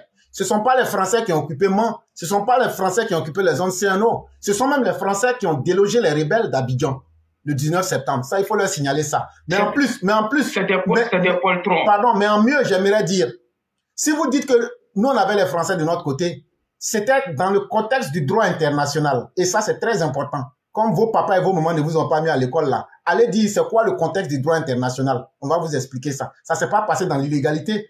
Quand votre Laurent Gbagbo allait prendre les mercenaires angolais, les mercenaires libériens, les mercenaires biélorusses, les mercenaires togolais, les mercenaires ghanéens, les mercenaires libériens du Lima FS, avec tout ça là, vous avez plus de, plus de 10 pays qui vous aidaient, mais ce sont les militaires du MPCI qui vous ont défait.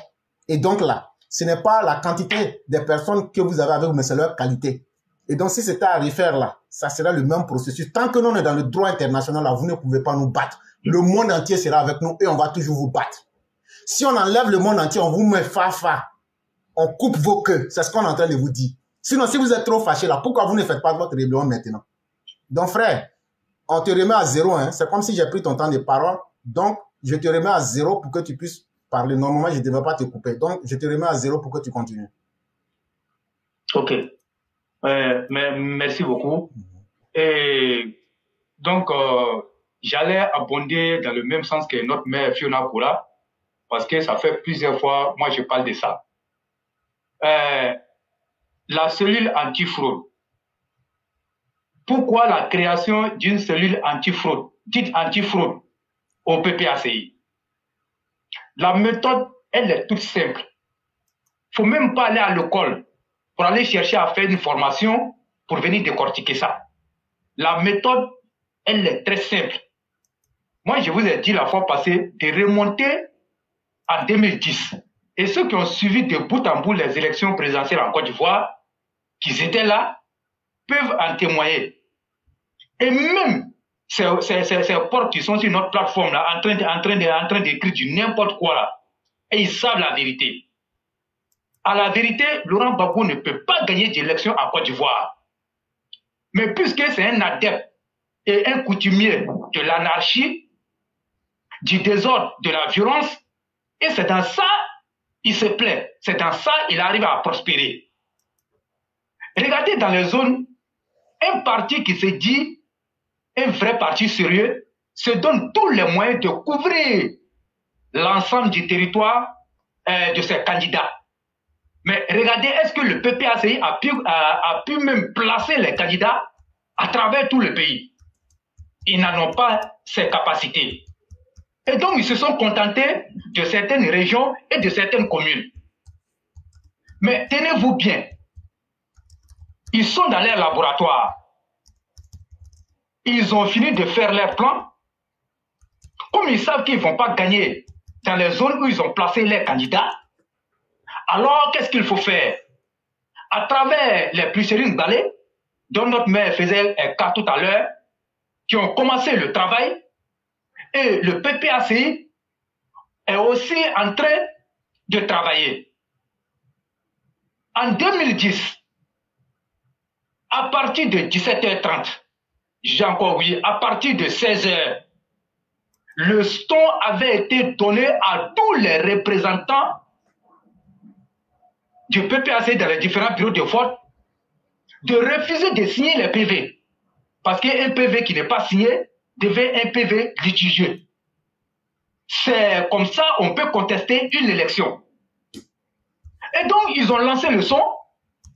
Et tout, où les zones où le PPACI avait perdu les élections d'avance, ils ont dit aux gens de ne pas signer les PV. Et les représentants n'ont pas signé les PV, ils ont refusé. Et donc, quand c'est comme ça, on peut avoir de bonnes raisons euh, pour contester et pour dire que voilà, voilà, voilà ce qui s'est passé. Mais à la vérité, il n'y a rien eu. Mais puisqu'ils sont incapables, donc ils pensent que 2010 est égal à 2023.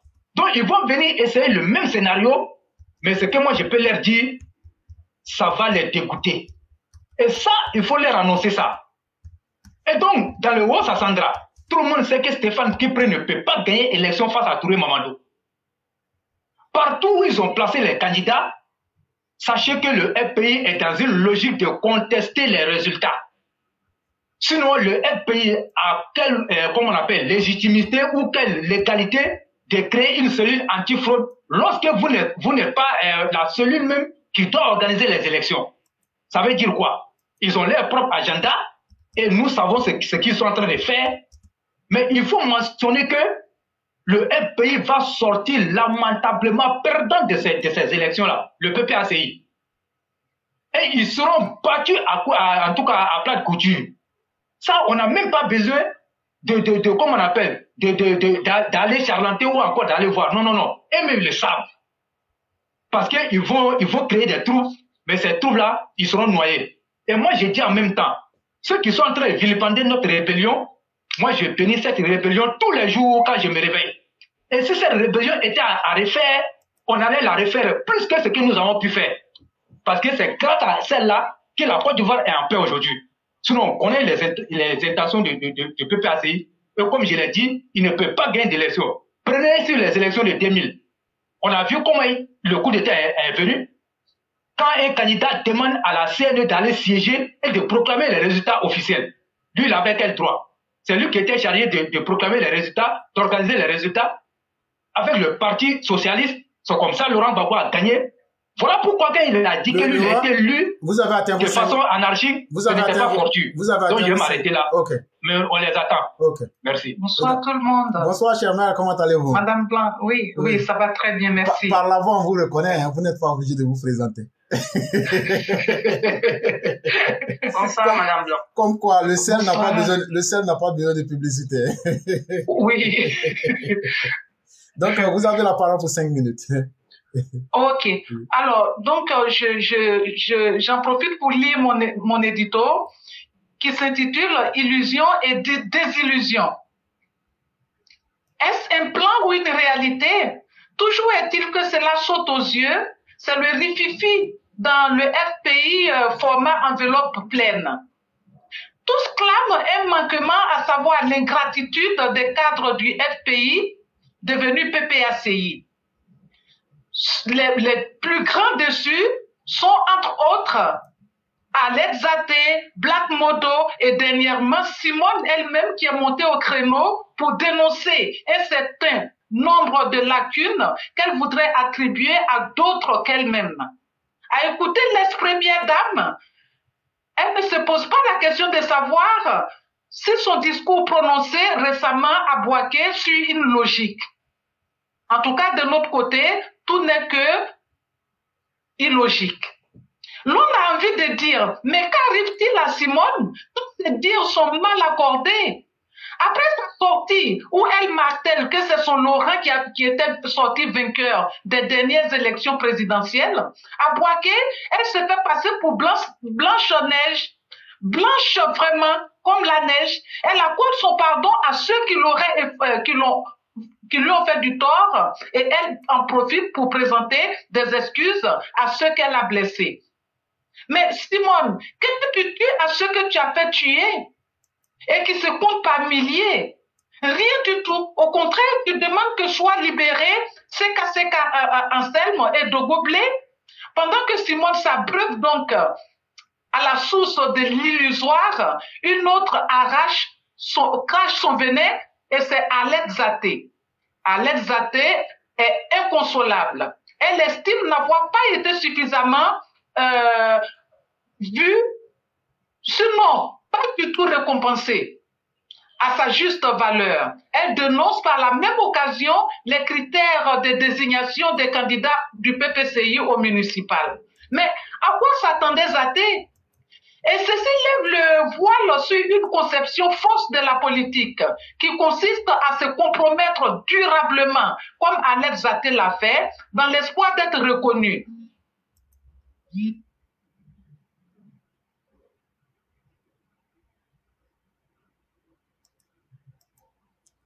Alors, nous avons perdu Mère Blanc.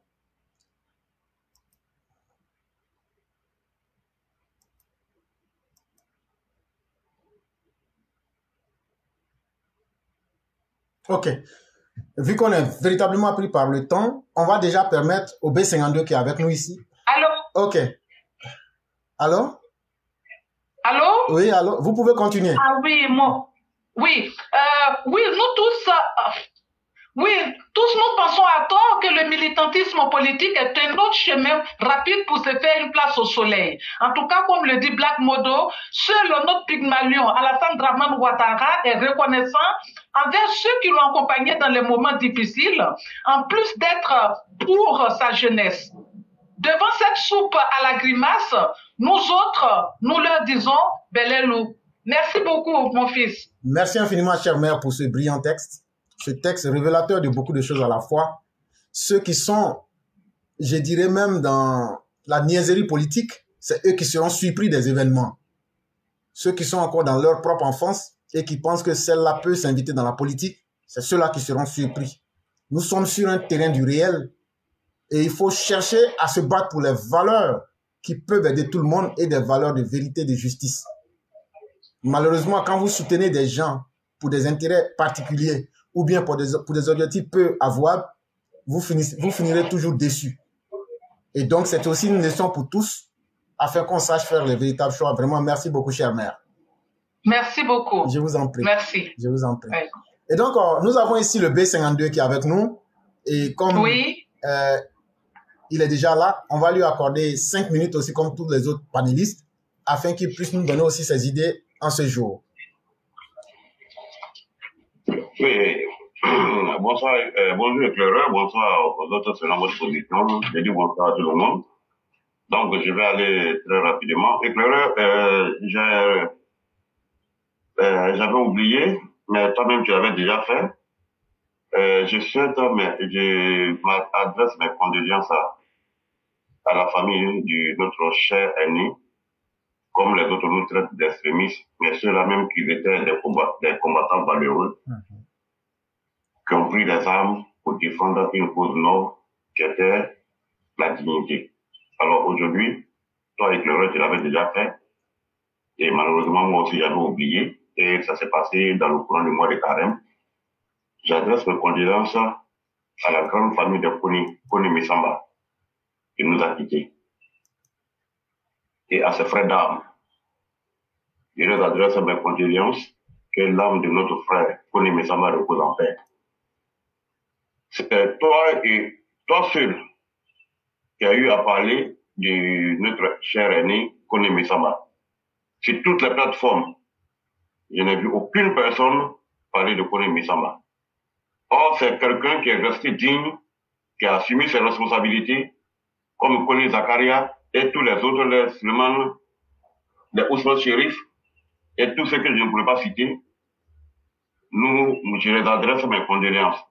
Ok, éclaireur, moi, je l'avais déjà dit il y a très longtemps que si Babo Laurent est en train de créer un comité de fraude, alors que pour la sécurité des élections, il y a une armée qui est là, cette armée qu'ils ont traitée des mercenaires, c'est ceux-là qui vont assurer la sécurité de toutes les élections en Côte d'Ivoire.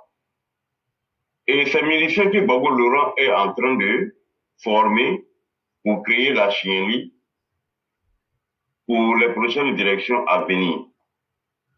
Moi, je dis à tous nos militants, ce n'est pas une histoire d'élection. Babo est toujours dans sa logique d'épuration ethnique comme il avait commencé dès sa prise de pouvoir. Et je dis à tous mes frères, vous qui êtes toujours poursuivis pour votre choix politique ou par, votre, par la conférence de votre nom, celui qui vient avec un bâton, prenez lance-roquette pour les anéantir. Parce qu'on ne peut pas être continuellement indexé et ciblé quand au-delà de l'Orient et ces vieilles personnes qui sont sorties en disant que le président Ouattara était moussi, ce n'est pas du président Ouattara qui sont en train de parler. C'est cette communauté qui a été toujours ciblée, sous-estimée, malmenée dès la mort du président Félix Fouboigny. Donc je dis à tous ces militants-là, les prochaines élections à venir, préparez-vous comme si vous partiez en guerre. Préparez-vous comme si vous étiez en face d'un ennemi. Parce que ceux qui sont en face de vous n'attendent que la violence. Ceux qui sont en face de vous en réalité, ne sont pas des êtres humains, ce sont des animaux. Je prends un seul exemple. Prenons le cas du Rwanda. Lorsqu'il y a eu ces morts massives entre les deux ethnies, Hutu et Tutsi, lorsque la guerre est finie et que la situation s'est normalisée, aucun Rwandais aujourd'hui n'a encore un langage de haine. Et je dis encore tous mes frères, et tous ces leaders politiques de la gauche, que ce soit PPAC et autres, je ne parle pas de leurs dérivés de politique, tout cela, priez Dieu qu'il n'y ait pas un pétard, même un pétard qui éclate en Côte d'Ivoire dans ces jours à venir, pour ne pas dire à, ces élections à venir. Parce que il y a une situation qui va se régler net, d'une manière naturelle, sans bruit. Parce que ces personnes que Gbagbo Laurent et son parti est en train de mettre en place, en réalité, ce sont des miliciens qui ont fui et aujourd'hui qui sont en train de se reconstituer. Et je vais dire à nos frères de la FECI, ce que vous êtes en train de s'aimer, mais, je vous, mais voilà pourquoi quelqu'un a parlé de Bakongo. Moi, honnêtement, Bakongo, c'est un cadre, c'est un responsable. Il était là aux premières heures de la politique du RDR et il a été l'un des fidèles et des fidèles. Mais c'est plus, il y a certaines de ces actions qui font ouais, que moi, je n'ai jamais aimé les actions politiques du Bakongo. Et voilà. C'est lui que je l'avais dit plus haut. C'est lui qui avait été le premier responsable de l'enseignement supérieur sur le président Alassane Ouattara pendant qu'il a formé son premier gouvernement. Et Bakongo n'a pas daigné poursuivre ces criminels. Or, lui-même, pendant qu'il était en train de refaire l'université, il y a eu des ossements comme si l'université Félix Fouboigny était devenue un camp de concentration où on a vu des ossements. Et voilà ces faits-là aujourd'hui qui sont en train de se reconstituer, qui sont en train de paralyser aujourd'hui le corps ivoirien dans tout son ensemble. Là où aujourd'hui, là où aujourd'hui, le monde est à 1000 à l'heure sur le côté de l'éducation, là où les autres enfants chinois, asiatiques dans leur ensemble américain, même européens, sont en train de mettre des applications technologiques, des développements et autres, c'est les enfants de 10 à 15 ans aujourd'hui, en Chine, qui sont en train de développer les drones. Pendant ce temps, des voyous qui ne veulent pas aller à l'école, qui sont en réalité des criminels cachés sous la couverture d'étudiants, sont en train de paralyser l'école ivoirienne. Et je dis un seul, je lance un seul appel à tous les parents de ces fétiches-là. Si jamais vos enfants arrivent même à brûler un seul bien matériel de un citoyen, vous allez payer les frais. Il n'y a pas d'aide sociale en Côte d'Ivoire. Il n'y a pas de subvention bancaire. Les gens se tuent pour mettre leur entreprise en place et ces petits voyous-là viennent de détruire et créer la désolation totale. Nous savons comment les, familles vivent en Afrique. Nous savons comment les familles se débrouillent en Côte d'Ivoire. Et c'est ce que j'avais à dire pour le moment. Vraiment, merci, cher aîné, pour l'efficacité avec laquelle vous avez conduit votre entrée. Et vous avez été très perspicace. Vous avez fini en 5 minutes 17 secondes 80 centièmes, ce qui est acceptable. Vraiment, merci à vous. Et cela nous fait passer à notre frère, le digne combattant Vas. Ok, merci le frère. Mhm. Ok, le frère, j'ai vu un de tes posts là, la dernière fois, une de tes posts la dernière fois sur, euh, sur les fonds sociaux, mhm. où que, Côte d'Ivoire a, a, intervenu, mhm. où il a lancé un mot en disant, oh, le, euh, le président de l'argent, on va passer.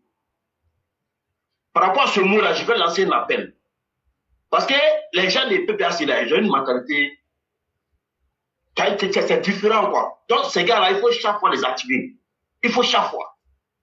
Se prendre des fonds sociaux, là, c'est pas comme on, prend l'argent, on donne à un individu, il fait ce qu'il a envie de faire, et puis il se cherche. Non, non, non, non, non, non. C'est une somme qui est là, tu as des projets, tu viens, tu lances. On te finance, tu travailles, après tu payes. Mais ils ont mis dans la tête de leurs partisans que cette somme-là, c'est comme c'est une somme cadeau. Il faut prendre cette somme-là, tu fais ce tu as envie de faire. Et c'est ça qui est dans leur tête. J'ai regardé plusieurs vidéos, hein, mais quand j'ai vu pour là, j'ai conclu directement que, tu as vu, ils sont de travailler la majorité des, des gars des PPACI, les, les, corps là, pour saboter le travail du président. Donc je voulais dire, à ces gens-là pour leur dire que si on prend les fonds sociaux là, l'argent là, pour c'est pour travailler. C'est un prêt. C'est un prêt, le, président a pris. Donc, ces sommes-là, on doit se mettre au travail. Et puis, j'ai remarqué quelque chose au niveau de la Côte d'Ivoire, et je déclarais. J'ai vu que ces 20 ans passés, aujourd'hui là, les Ivoiriens sont devenus paresseux. On ne veut rien faire. Regardez des opportunités qui sont actuellement en Côte d'Ivoire. Même la dernière fois, moi, j'étais assis dans un grain. Il y a une dame qui est venue. Elle est venue causer avec les jeunes là. C'était pour les sensibiliser s'ils pouvaient prendre un crédit pour faire quelque chose. Quand elle, est venue, elle a intervenu, elle a commencé à parler. Bon, moi, je n'ai rien dit. Moi, j'étais là, j'ai dit j'écoutais. Mais quand elle a fini, elle est partie, j'ai demandé ces jeunes-là. Que ouais, qu'il y a ce qu'ils font ça ici? Mais vous, vous attendez quoi pour, pour avancer? Vous attendez quoi pour avancer? Donc, vous voulez que nous, on reste ici, on prend notre argent, on vous donne, vous mangez, vous asseyez. Mais voici des opportunités? Nous, dans notre temps, on n'a pas eu ça. Essayez de réfléchir, travaillez, ne vous asseyez pas.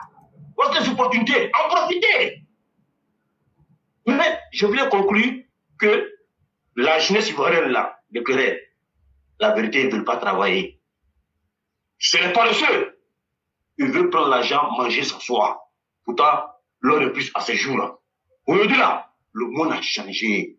Le monde a changé. Il faut se mettre au travail. N'attendez plus l'argent facile, l'argent cadeau là. Ça c'est fini.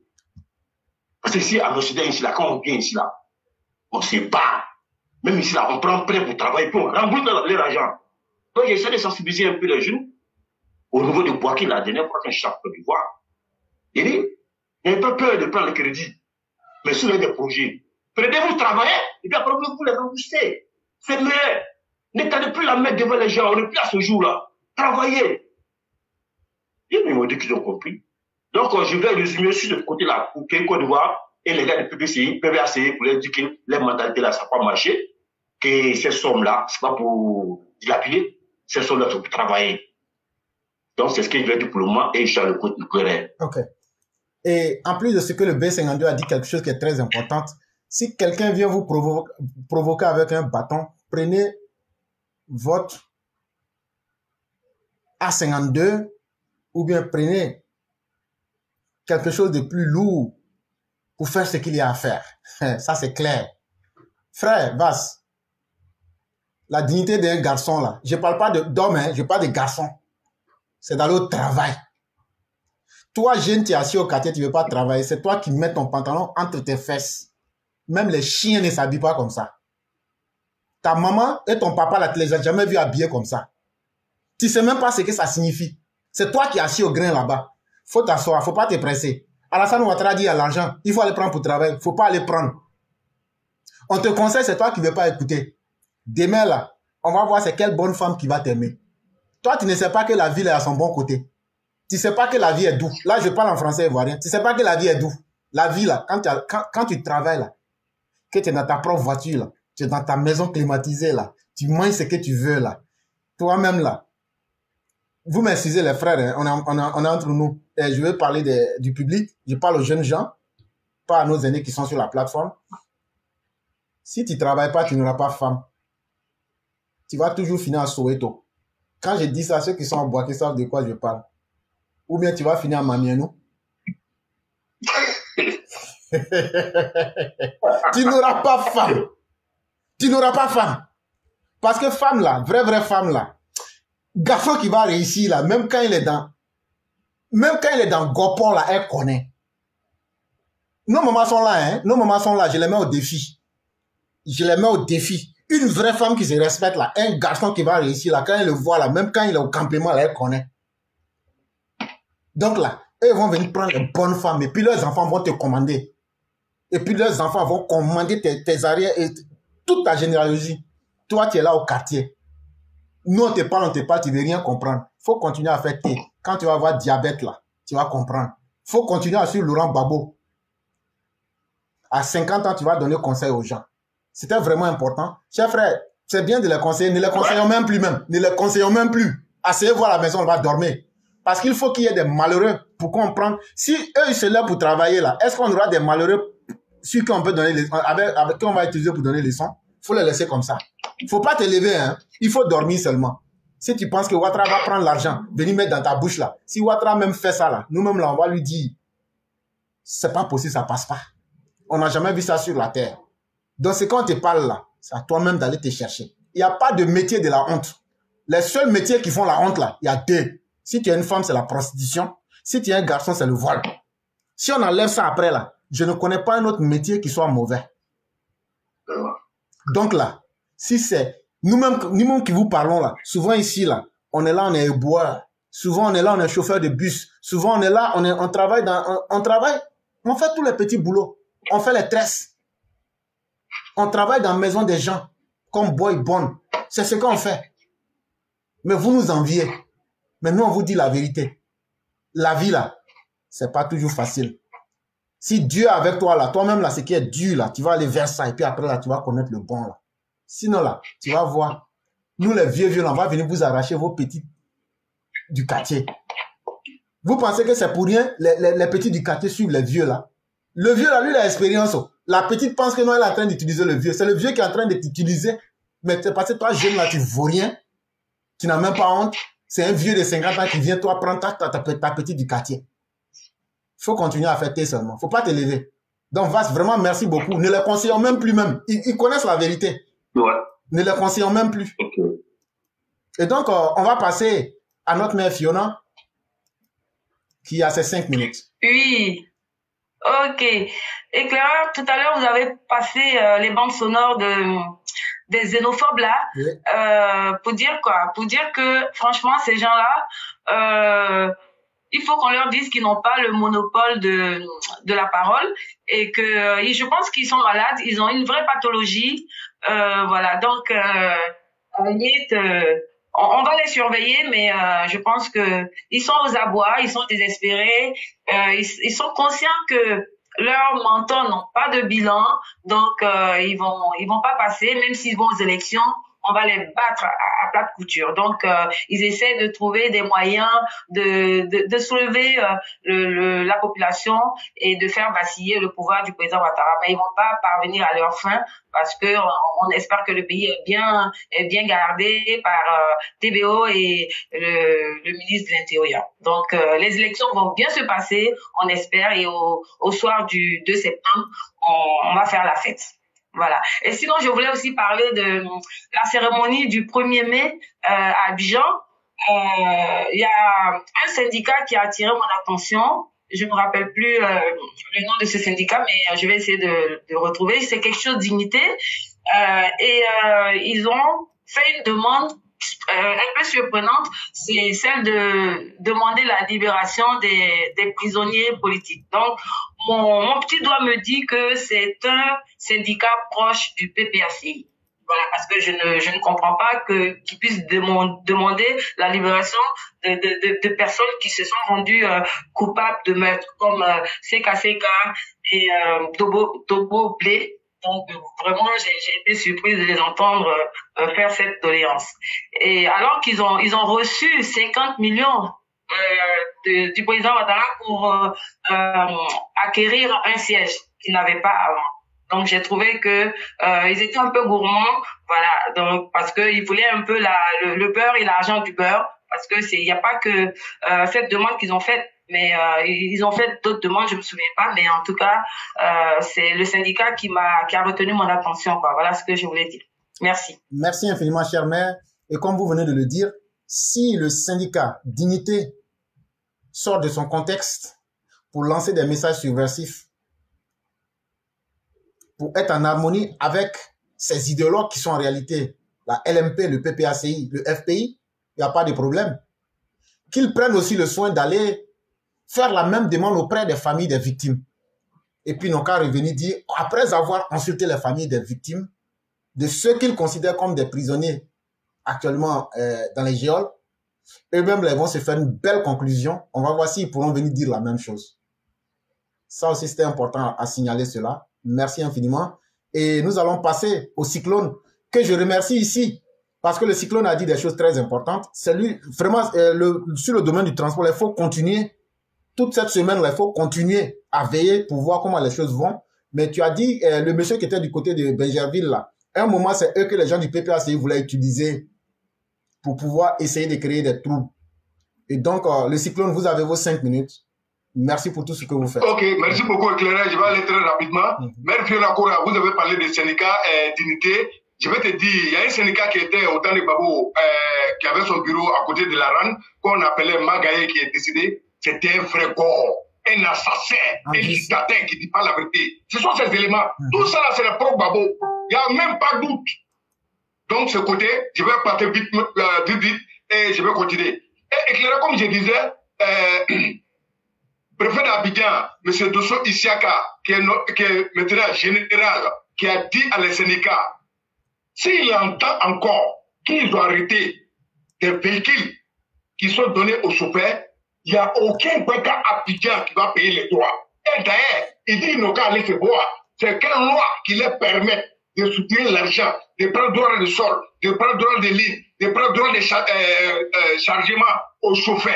Et les Nyembolo, et il attend. Ils ont fait ces réunions, ils se sont pas entendus. Donc, ils ont essayé de, euh, ils ont essayé d'aller marmaille, essayer de manipuler, je ne vais pas dire son nom, éclairez, vous le savez, et il m'a promis pour dire, tous les chauffeurs écoutent. Mais l'émission, il ne peut pas appeler parce que souvent il roule, il y a beaucoup de bruit, il ne peut pas intervenir, donc, mais ils écoutent. Mais ils m'ont promis de dire, s'il y a des délégations au nom, au, au niveau d'Abidjan, je les ai dit oui, il y en a, mais je ne peux pas donner les détails. Je vais faire le compte rendu d'abord. Si, et ils vont les recevoir au bureau, les donner tous les détails. Et en même temps, eux-mêmes, ils sont là, ils ont pris, ils vont venir témoigner, mais ensemble, ils vont venir un jour. Ils vont arrêter une date avec nous, avec tous les Ivoiriens, avec les Ivoiriennes, ou venir faire une déclaration si le canal, si la plateforme éclairait pour vérité au nom de la Côte d'Ivoire, parce que c'est jamais vu en Côte d'Ivoire. C'est que le président de la République, son excellence, M. Alassane Ouattara, a fait en Côte d'Ivoire pour les chauffeurs. C'est un débat. C'est nouveau pour nous. Mais il encourage encore tous les chauffeurs à venir, aller se faire former, aller rentrer dans tous les sorties où on peut les aider, ça serait bien. Et il me dit, par, canal de, euh, la, sur la plateforme éclairée pour vérité, de remercier le ministre des Transports, M. Amadou Kouré. Parce que le ministère actuellement, de la manière ça s'en va, on remercie tous les gens. Parce que l'i- l'i- l'idée du président de la République, c'est de voir les, euh, les Ivoiriens libres, tranquilles dans leur boulot et la sécurité de tout le monde doit être garantie. Et en même temps, il y a des passagers qui ont intervenu, qui ont salué, qui ont félicité, parce que actuellement, tout le monde se sent en sécurité, ils montent dans les véhicules, ils, arrivent aux destinations sains et saufs. Il n'y a même pas de bruit, tout est organisé, il y a du respect, on sent qu'il y a une formation qui a été faite, on quitte, on commence à quitter dans l'informel. Donc, on félicite les acteurs et tous les passagers. Les passagers ont commencé à attendre même les nouvelles parents. Et vous pouvez, demander, chers parents, les passagers sont enjaillés. C'est nouveau pour tout le monde.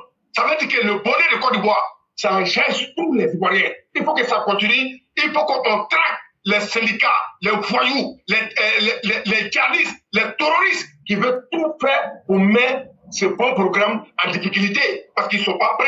Et ils sont prêts à manger avec le diable dans même, dans même tasse. C'est là, ils sont pas prêts.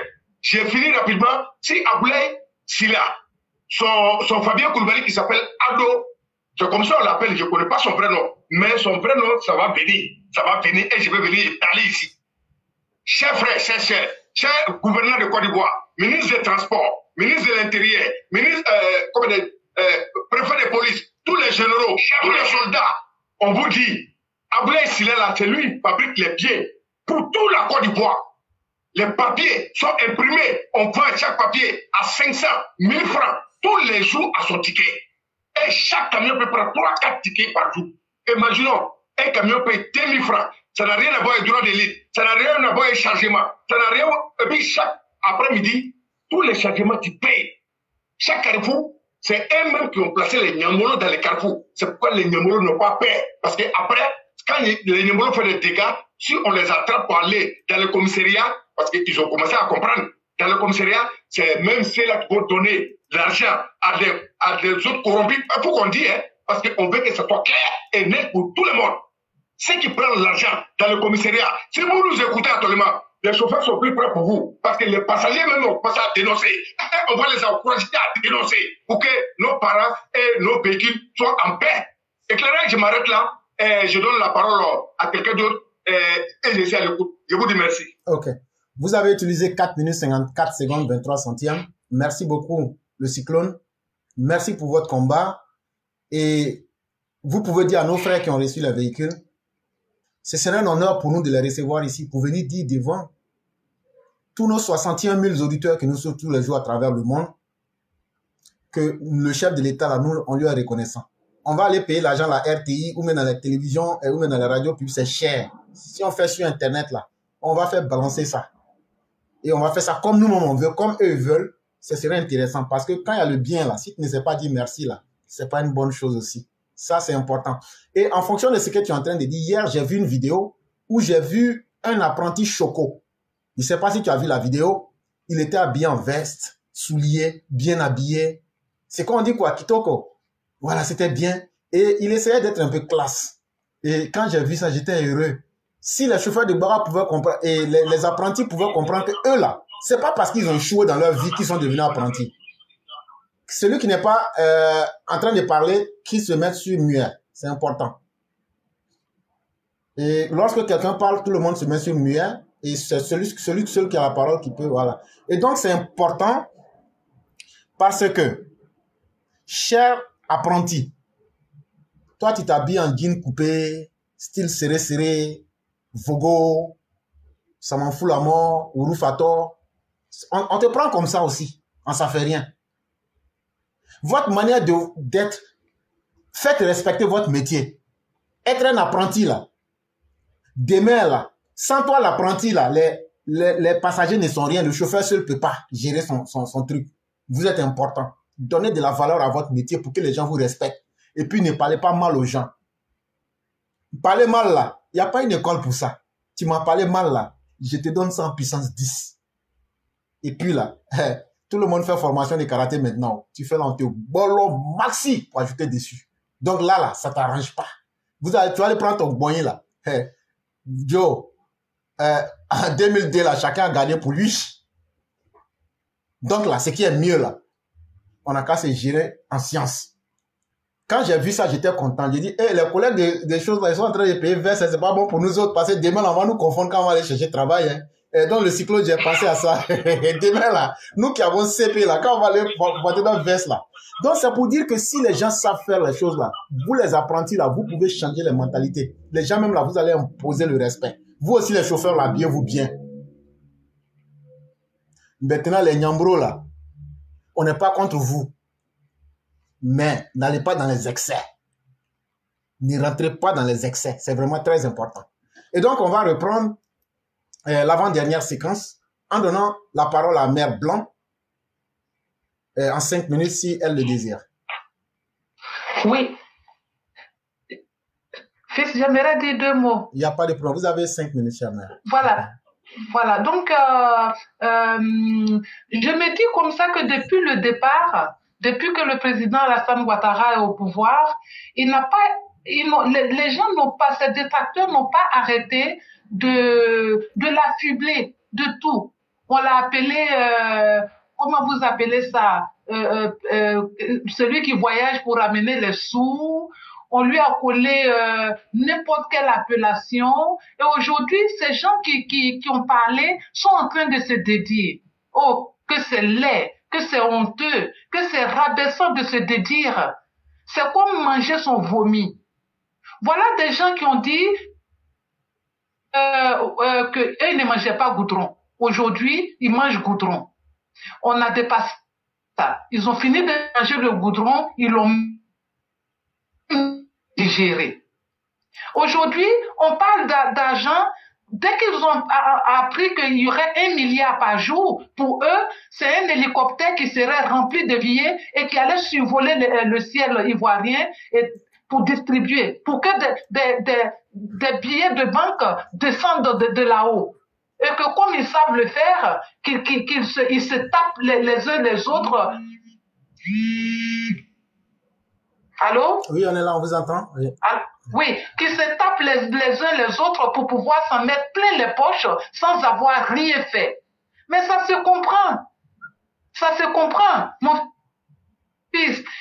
Quelqu'un qui n'a jamais Quelqu'un qui, qui, qui, qui, vit dans, dans, dans un euh, euh, terrier ne peut pas savoir on, on, euh, le, le devant. On rien fait. Jour, il on se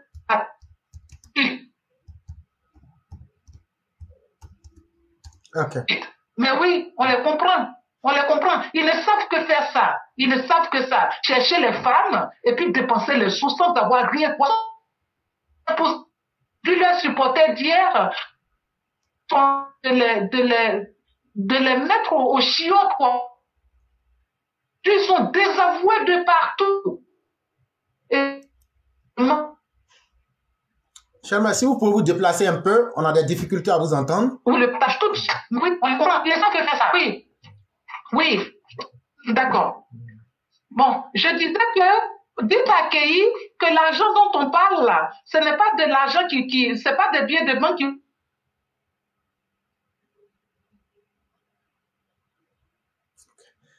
On a des difficultés véritablement à entendre la mère. Euh, on a véritablement des difficultés à vous entendre, chère mère, si vous nous entendez. On n'arrive pas à vous entendre. Et donc, euh, de là, on va redonner la parole. Voilà, elle a des difficultés seulement de connexion. On va donc redonner la parole au roi du printemps.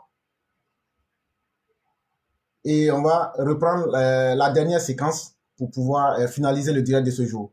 Donc, le roi du printemps, Allô? oui, vous en avez pour cinq minutes. Ok, merci beaucoup. Mhm. Et merci. Euh, éclairez, si vous vous souvenez, euh, quand on a eu l'épisode, euh, comment il s'appelle, comment il s'appelle la meilleure, Odette Lorion, Mhm, mhm, mhm. quand elle a insulté nos, nos 49 soldats, si elle les a traités de, de, de mercenaires, euh, insulté notre président, et nous, on attendait une réponse euh, de la part du directoire. Mais il y a eu des rencontres où le secrétaire exécutif, Sissé Bakongo, a banalisé la situation. Et moi, je suis venu ici pour décrier cette situation, et c'était en connaissance de cause. Parce que je savais que c'est Laurent Gbagbo qui avait envoyé Odette Lourion de venir parler comme ça. Et donc, vous avez vu aujourd'hui, euh, lors de la présentation de, de, ces, de ces supposés, je ne sais même pas même, soi-disant candidats, si vous avez écouté sa communication, vous allez comprendre que ils sont dans leur logique. Tout ce que Odette Lorion fait, que ce soit elle ou tout autre militant du FPI, à la caution de Laurent Gbagbo. Donc il faut qu'on explique ça aux gens. Et je ne sais même pas dans quelle langue aussi on va expliquer aux gens pour que les gens comprennent que ceux-là, ils ne vont jamais changer. Le seul langage qu'ils vont comprendre là, ça sera celui de la violence. Parce qu'ils ont eux-mêmes, ils créent la violence, mais ils ne supportent pas la violence. Donc, c'est à ce seul prix-là qu'on va faire reculer ces personnes-là et qu'on va leur dire que la Côte d'Ivoire n'est la chasse gardée de personne. Les intérêts de la Côte d'Ivoire ne tournent pas autour de, de comment on appelle, du PPACI. Donc voilà. Et quand il était en train de se prononcer, Odette Lorignon était toute souriante. Ça veut dire que la mission a été accomplie et que maintenant le chef peut être fier d'Odette Lorignon d'avoir traité nos, nos, nos, nos 49 soldats de mercenaires et d'insulter le président Hassan Ouattara. Ce n'est pas moi qui ai inventé les faits. La vidéo existe. Mais il suffit seulement de prendre la vidéo et de l'écouter attentivement pour pouvoir tirer sa propre conclusion. Je dis aux gens, quand vous regardez quelque chose ou vous écoutez quelque chose, n'écoutez pas parce que vous avez envie d'écouter. Écoutez pour obtenir une leçon et d'en tirer une conclusion. C'est ce que nous avons vu. Et donc, moi j'ai dit à notre mère Fiona qu'elle a tellement bien euh, vu et je crois que c'est bon. Maintenant, ce qui concerne le transport là, allons-y en Afrique du Sud. Vous savez, le secteur du transport en Afrique du Sud, c'était la même situation que la Côte d'Ivoire. Mais à un moment donné, le gouvernement sud-africain avait entrepris de faire des changements, même par la voie de la violence. Mais à un moment donné, le gouvernement a compris que la voie de la violence ne pouvait pas faire changer les choses et qu'il fallait adopter une autre méthode. C'est ainsi que le gouvernement a procédé au renouvellement du parc automobile. Mais quand ils ont renouvelé ce parc automobile, l'État a pris en compte le secteur du transport. Et c'est comme ça, l'Afrique du Sud a pu réussir, en tout cas, euh, comme on appelle, dans ce secteur du transport. -là. Mais quand vous regardez depuis un certain temps, le président Alassane Ouattara ne cesse de vouloir trouver des solutions, mais des solutions qui sont un peu difficiles quand on connaît un peu les désordres qu'il y a. Mais depuis un certain temps aussi, avec l'arrivée du ministre euh, Amadou, Amadou Kone, parce qu'il avait déjà entrepris avec, euh, comme on appelle, Kaoussou Touré, qui lui-même était un anarchiste. Ça, il faut, il faut relever ce fait-là. Et donc, Gaussou Touré n'a pas pu réussir. Mais ça avec Amadou Kone, quand vous regardez un peu, et vous allez, vous allez vous rendre compte que le processus qui est lancé là va faire disparaître, c'est comme on appelle, beaucoup de syndicats de la circulation. Et c'est ce qui a déjà passé. Quand vous regardez de la façon que c'est organisé, vous allez dire chapeau au président Alassane Ouattara et chapeau au ministre Amadou Kone, je l'ai dit. C'est un très bon ministre. Je l'avais déjà souligné. Et donc, le travail s'est fait un peu, un peu, un peu, un peu.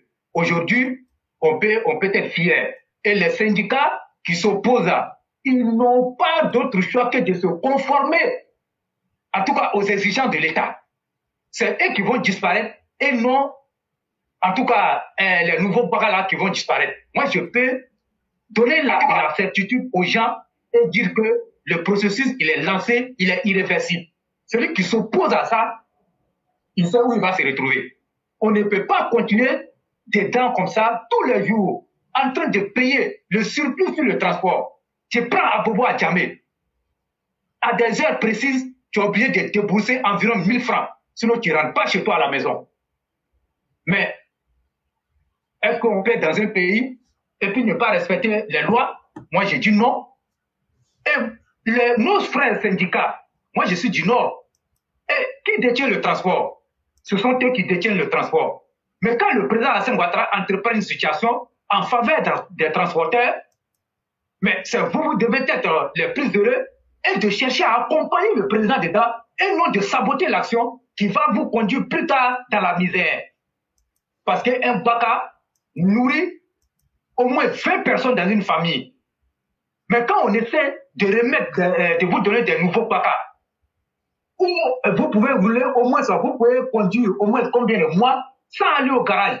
Et ça, ça ne peut qu'être bénéfique pour vous.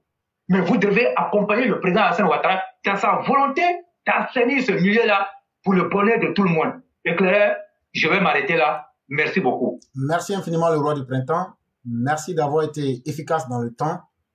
Et cela nous fait passer à Vas, à qui nous donnons la parole. Ok, monsieur chef frère.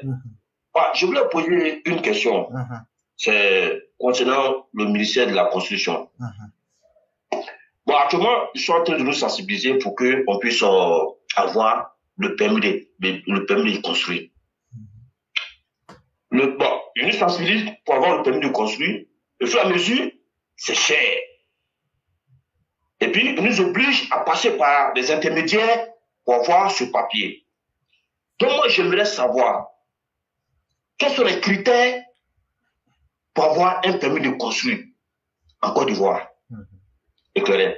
Je vais avoir une information par rapport à ça. Une question. Et là, en toute sincérité, je ne pourrais pas vous donner la réponse, mais si vous aviez suivi nos émissions anciennes, on a donné déjà toutes les étapes.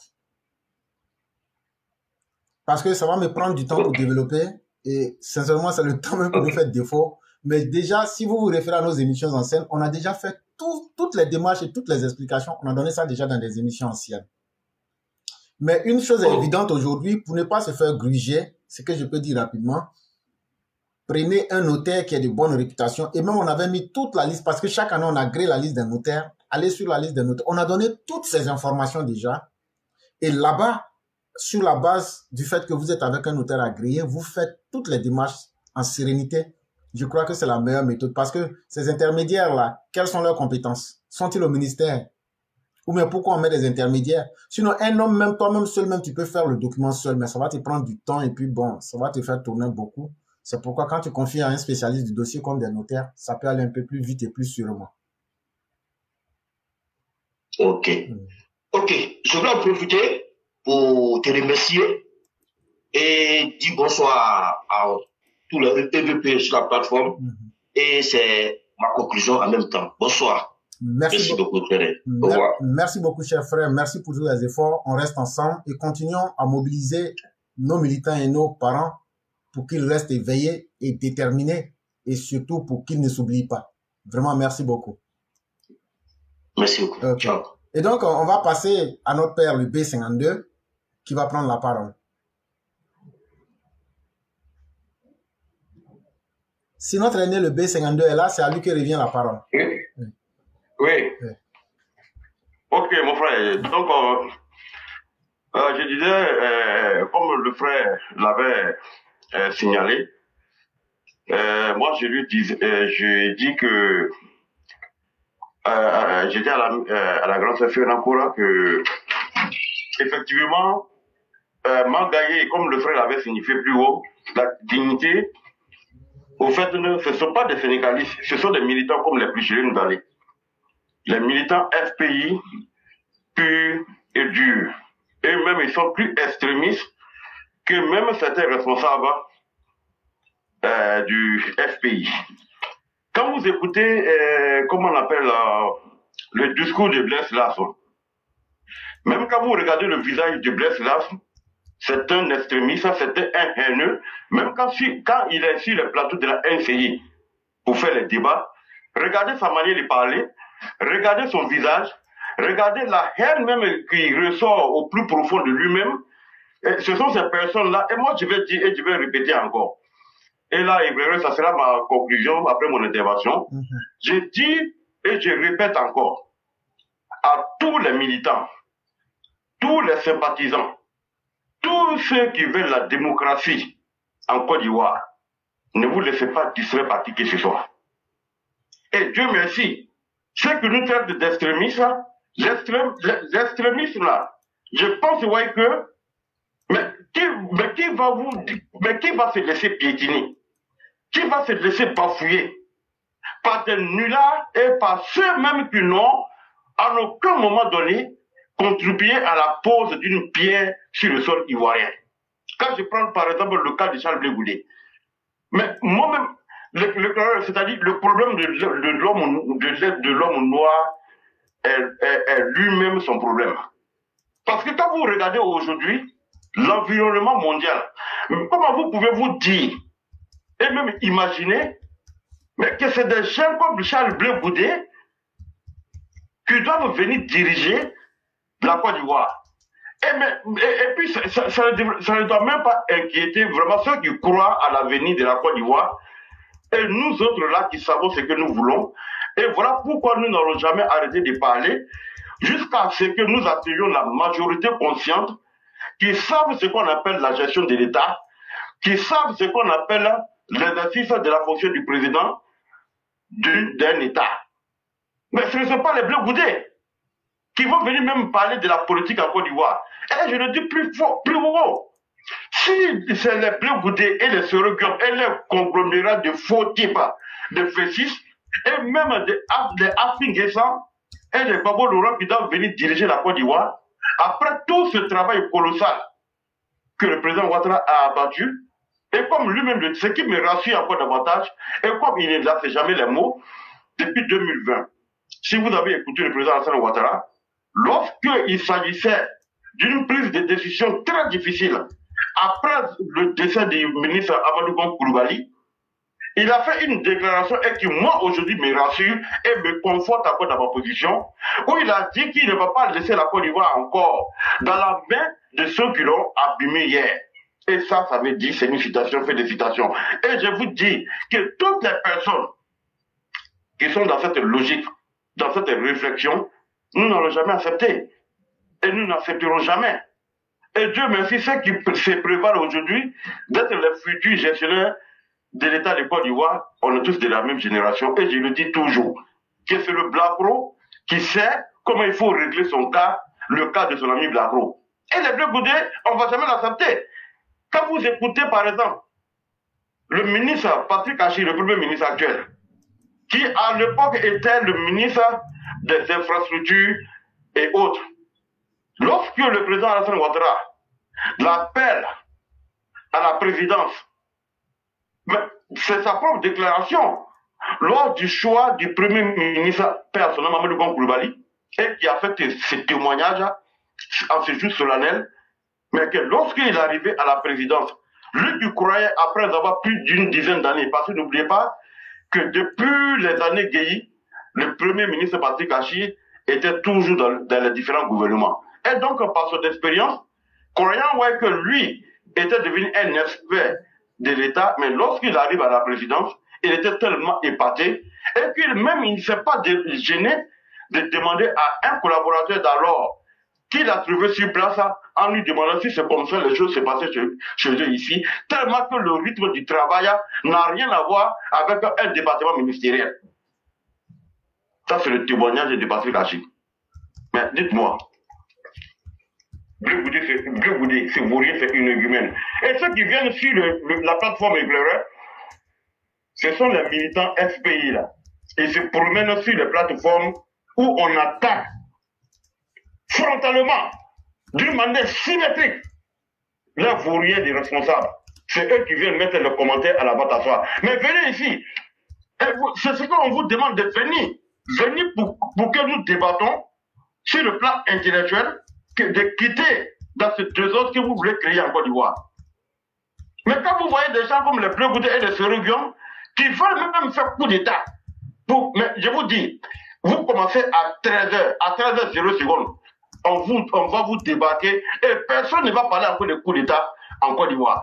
Ce qu'ils sont en train de préparer en réalité, ce fameux groupe de comités de fraude qu'ils sont en train de mettre, c'est pour créer le désordre. Et je dis, et je vais lancer un appel aux parents de ces, de ces vagabonds-là, qui sont en train d'être reconvertis en, en mercenaires, en fauteurs de troubles, en criminels, sous, le, sous la couverture de comité de fraude, comme les Picherim Ballet, qui se cachent derrière les manteaux de la société civile, nous disons aux parents, et je lance un appel, vous, vous les militants gore là, FPI là, vous êtes sur le live, vous nous écoutez. Et c'est le même P52, je ne vais jamais t'indiverser, je n'irai jamais avec le dos de la pierre, avec ces vaudriers des militants criminels de FPI, chauffés à blanc, qui sont nourris avec la sève de la haine. Et à leurs parents, nous vous disons, parlez à vos enfants. On demande tout simplement d'aller aux urnes, aller voter. Et il y a une commission électorale indépendante qui est là. On ne pourra pas parler de comité de fraude parce que dans tous les bureaux de vote, tous les partis euh, euh, euh, partant pour les élections ont leurs représentants, même dans les derniers cas, ont leurs représentants, pour signer les bordereaux après les décomptes des Alors, je suis surpris. Je suis surpris qu'aujourd'hui, Babo Laurent veut créer un comité de fraude. Donc, leurs partisans et leurs sympathisants, qui seront les représentants dans les bureaux de vote, mais pourquoi ceux-là doivent être dans le bureau de fraude et en même temps créer un comité de fraude. Chers frères, je vous dis, ils reviennent avec les mêmes paroles pour dire que la majorité des militants du RADP sont les étrangers. Voilà les problèmes. Et ça a été toujours comme ça. Et ceux aujourd'hui qui sont en train de recruter, nous disons à leurs parents, parlez à vos enfants. Parce que si un de vos enfants commet un crime, non seulement on va l'anéantir, mais on ira derrière lui jusqu'à dans, sa famille pour vous faire la même chose. Parce que trop, c'est trop. Vous tuez, vous continuez à tuer et vous encouragez à tuer. aucun de- d'entre vous ne peut dire que vos enfants, les actes qu'ils poseront, vous n'êtes pas informés et que vous n'êtes pas au courant.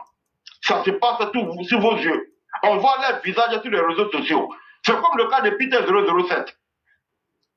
Ses parents ont dit qu'ils eux, n'étaient pas au courant de ce que leurs enfants faisaient. Et après, il y a des vidéos qui ont circulé où la maman de Peter 007 était en train de féliciter Peter 007 de l'avoir envoyé l'argent des fêtes, des fêtes de décembre. Et c'est ce que vous avez fait. Et partout, quand ça se passe, il- il s'agit de morts. Et personne ne va se laisser encore assassiner ou faire assassiner son enfant. Et pleurer, sur ce point, ça c'est ma conclusion aujourd'hui. Merci beaucoup. Et je vous dis bonne soirée à tous. Merci beaucoup, cher aîné. Merci d'avoir été efficace. Merci de votre participation. Et moi aussi, je vais profiter pour faire aussi mon au revoir à tous les auditeurs qui nous suivent, pour vous dire merci d'être avec nous, de nous faire confiance. Et surtout, merci à tous ces gars endurcis qui sont là, mais qui n'ont pas le courage de dire je vais prendre la parole. Il y a un qui dit, moi je préfère l'opposition d'aujourd'hui, elle parle, mais elle n'est pas aussi violente que l'opposition de la Ouattara qui a trop endeuillé les Ivoiriens. Bravo euh, à un certain Laurent Gbagbo, bravo PPACI. Mes chers frères, de la même manière que tu préfères l'opposition d'aujourd'hui, là, c'est comme ça aussi que nous, on préférait l'opposition d'hier, qui était violente, mais qui était violente face aux escadrons de la mort, qui était violente face aux miliciens du GPP, qui était violente face aux propos violents de Laurent Gbagbo qui ne voulait pas que les Ivoiriens puissent manifester, qui déclarait le plateau zone rouge. Cette opposition qui a su tenir face à un dictateur, un despote, un criminel, un sanguinaire, un individu de la pire espèce comme Laurent Gbagbo, un criminel non repenti et un homme sans foi ni loi, la violence était la seule méthode pour pouvoir le ramener à l'ordre. Et ne, ne vous faites pas de, de fausses intentions. Vous n'êtes pas calme parce que vous êtes devenu sage. Vous êtes calme parce qu'il y a des garçons comme nous. On a coupé vos queues et on vous a mis au frais comme des légumes. Si vous essayez de faire quoi que ce soit, on vous mate à nouveau. On est plus fort que vous dans la violence. On est plus fort que vous politiquement parlant. On est plus fort que vous intellectuellement. Et ça s'est démontré aujourd'hui. Tout le monde a pris la parole sauf vous, alors que vous êtes là, en train de gloser, alors que vous pouvez être un peu plus digne si vous êtes vé- véritablement des hommes à venir prendre la parole. Allez appeler et dites, j'ai voulu prendre la parole, éclaireur a refusé, c'est de cela qu'il est question. Et donc, on ne vous fera plus de cadeaux. Ça, c'est, ça, c'est terminé. Ça, c'est ce que je, je tenais à te dire.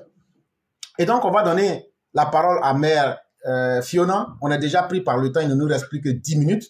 Et donc, je vais demander l'indulgence euh, des personnes qui sont avec nous de faire leur conclusion, ne serait-ce que dans un pas, pas dans plus de, de 3 minutes. Ça va nous faire plaisir pour que vraiment je ne sois pas piégé par le temps. Et donc, on va donner 3 minutes à Mère Fiona pour pouvoir faire sa conclusion. Ok, merci éclaireur. Je dis merci à tout le monde et euh, pour dire à- au roi que euh, euh, comment elle s'appelle? L'Orient est vraiment en mission pour le PPACI, tout comme euh, Pucheri en, en mission pour toute l'opposition. Euh, voilà. Donc, éclaireur, je vous dis merci parce que dans une de vos vidéos, vous avez fait tomber le masque de Pulchéry. Celle qui se dit être de la société civile, euh, au fond, elle, euh, voilà, elle roule pour l'opposition parce que vous avez donné la liste des personnes avec qui elle était en contact, avec des noms, des numéros, en 2020, lors de leur CNT. Donc, pour dire que cette dame, en tout cas, il faut la surveiller de près. Euh, elle se plaint de ce que ses numéros, euh, enfin, qu'elle elle se sent persécutée parce que euh, elle a des problèmes avec ses, ses, ses, ses numéros, euh, je sais pas quel opérateur, mais je trouve que elle a, elle a des raisons de s'inquiéter parce que vu que son masque est tombé, euh, elle sait que nous, nous allons la voir à l'œil et qu'elle va, elle va être surveillée comme euh, du lait sur le, sur le feu. Voilà, donc euh, ça sera ma conclusion.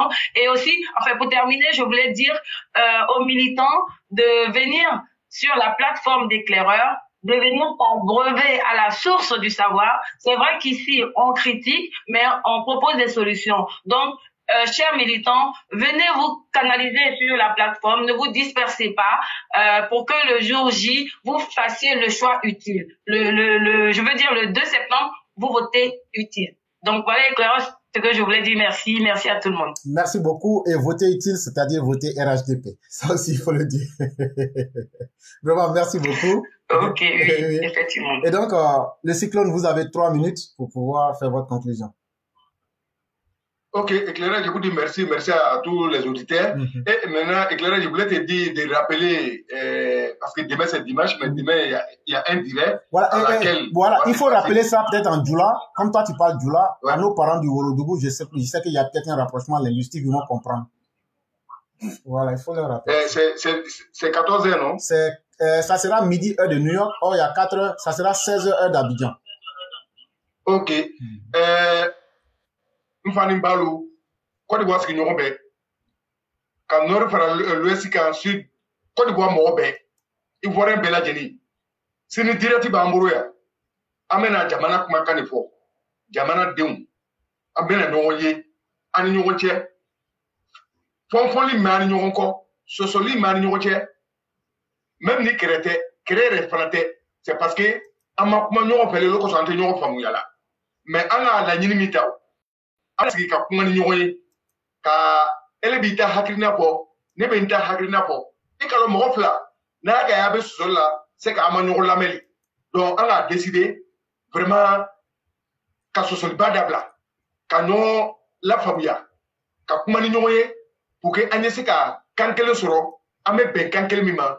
parce que n'an bɛnna kan kelen ma o de bɛ baraka don an yɛrɛ la. An ye jamana o de b'a lataa ɲɛ. Sɔsɔlibaw bɛ ban. An b'an ɲɛsin ko bɛrɛbɛrɛw ma. Ko minnu bɛ kɛra ɲɛ peresidan bolo a n'a kɔrɔsigibaw. I ka ye sɔsɔli bɛ n da ni ɲɔgɔn cɛ. Mɛ komi m'a fɔla o n'an ma ɲɔgɔn lamɛn an bɛna sɔsɔli kɛ toujours. Tuma dɔ le sera fo an ye ɲɔgɔn lamɛn. An yɛrɛ ɲɛ b'an ɲɛ masakɛ la. An bɛɛ ko ko an ye peresidan exemple ye. Nous sommes exemple de président. Mɛ peresidan bɛ bɛɛ de lamɛnna. I ka ye olu kosɔn ko bɛɛ solution b'a bolo c'est pas magie. Donc n'an ko an bɛ kɛ président ɲɔgɔn ye n'an ko an b'an sen bila a sen nɔ na il faut k'an fana ye ɲɔgɔn lamɛn ka kuma ni ɲɔgɔn ye ka ɲɔgɔn faamuya sini ta an bɛna ɲɔgɔn lajɛ yan états-unis o 16 heures o lansara a bɛ bɛn o ma mais o bɛ bɛn paris yan ɛɛ ɛɛ Non, 16 heures d'Abidjan. en sept- euh, euh, Abidjan 16 heures, Ah, Abidjan Lanzara, o bɛ bɛn Paris yan 14 heures de ma. A ye donc n'Ala sɔnna Abidjan lɛri 16 heures an bɛɛ bɛ sɔrɔ plateforme kɛ yan. Nord mɔgɔ bɛɛ, l'Ouest mɔgɔ bɛɛ, Sud mɔgɔ bɛɛ, Centre mɔgɔ bɛɛ, mais an mako yɛrɛ bɛ min na yɛrɛ yɛrɛ yɛrɛ woroba den- denw a n'a faw a n'an baw a n'a sigiɲɔgɔn bɛɛ laɲini min b'an na an bɛ fɛn min laɲini pour que an ye bɛn jamana ɲɛtaga ɲɛ la an yɛrɛ y'a ka sigiyɔrɔ ɲɛtaga ɲɛ la an ye yɔrɔ débat débat min kɛ fana a tɛ komi dɔ de de ma parce que an tɛ la mais n'ala sɔnna sini an an n'an sɛriw minnu bɛna kuma sini minnu bɛna kuma ta sini. Ma kuma n'i bɛ fɛ ka kuma ta. I ye na i profil facebook profil kan i taper éclaireur pro vérité ou bien éclaireur pro vérité i y'a bila dɔrɔn je suis l'enfant de woroba je vais intervenir. Ele ye message bila ten dɔrɔn éclaireur a bɛna tan ta ka message filɛ n'a ka message filɛ mɔgɔ o mɔgɔ bɛ fɛ ka na a y'a faamuya ta de i ka min dɔn i bɛ fɛ k'o fɔ laɲini a bɛɛ ye n'a kɛ u ka se ka bɛn kelen ma a ye sɔsɔliba dabila ten l'heure n'est plus à la discussion. L'heure est aux affaires concrètes donc éclaireur je dis merci au ministre des Transports. Merci au euh, préfet, euh, préfet de police je dis merci qui est nommé général merci à tous les passagers qui dénoncent merci à tous les chauffeurs qui vont prendre bien soin de leur véhicule qui a été donné par excellence M. Alassane Ouattara et tout le gouvernement je vous dis merci Inch'Allah éclaireur demain sera un autre jour merci merci Merci beaucoup Merci. le cyclone et merci aussi à tous les apprentis qui s'habillent choco.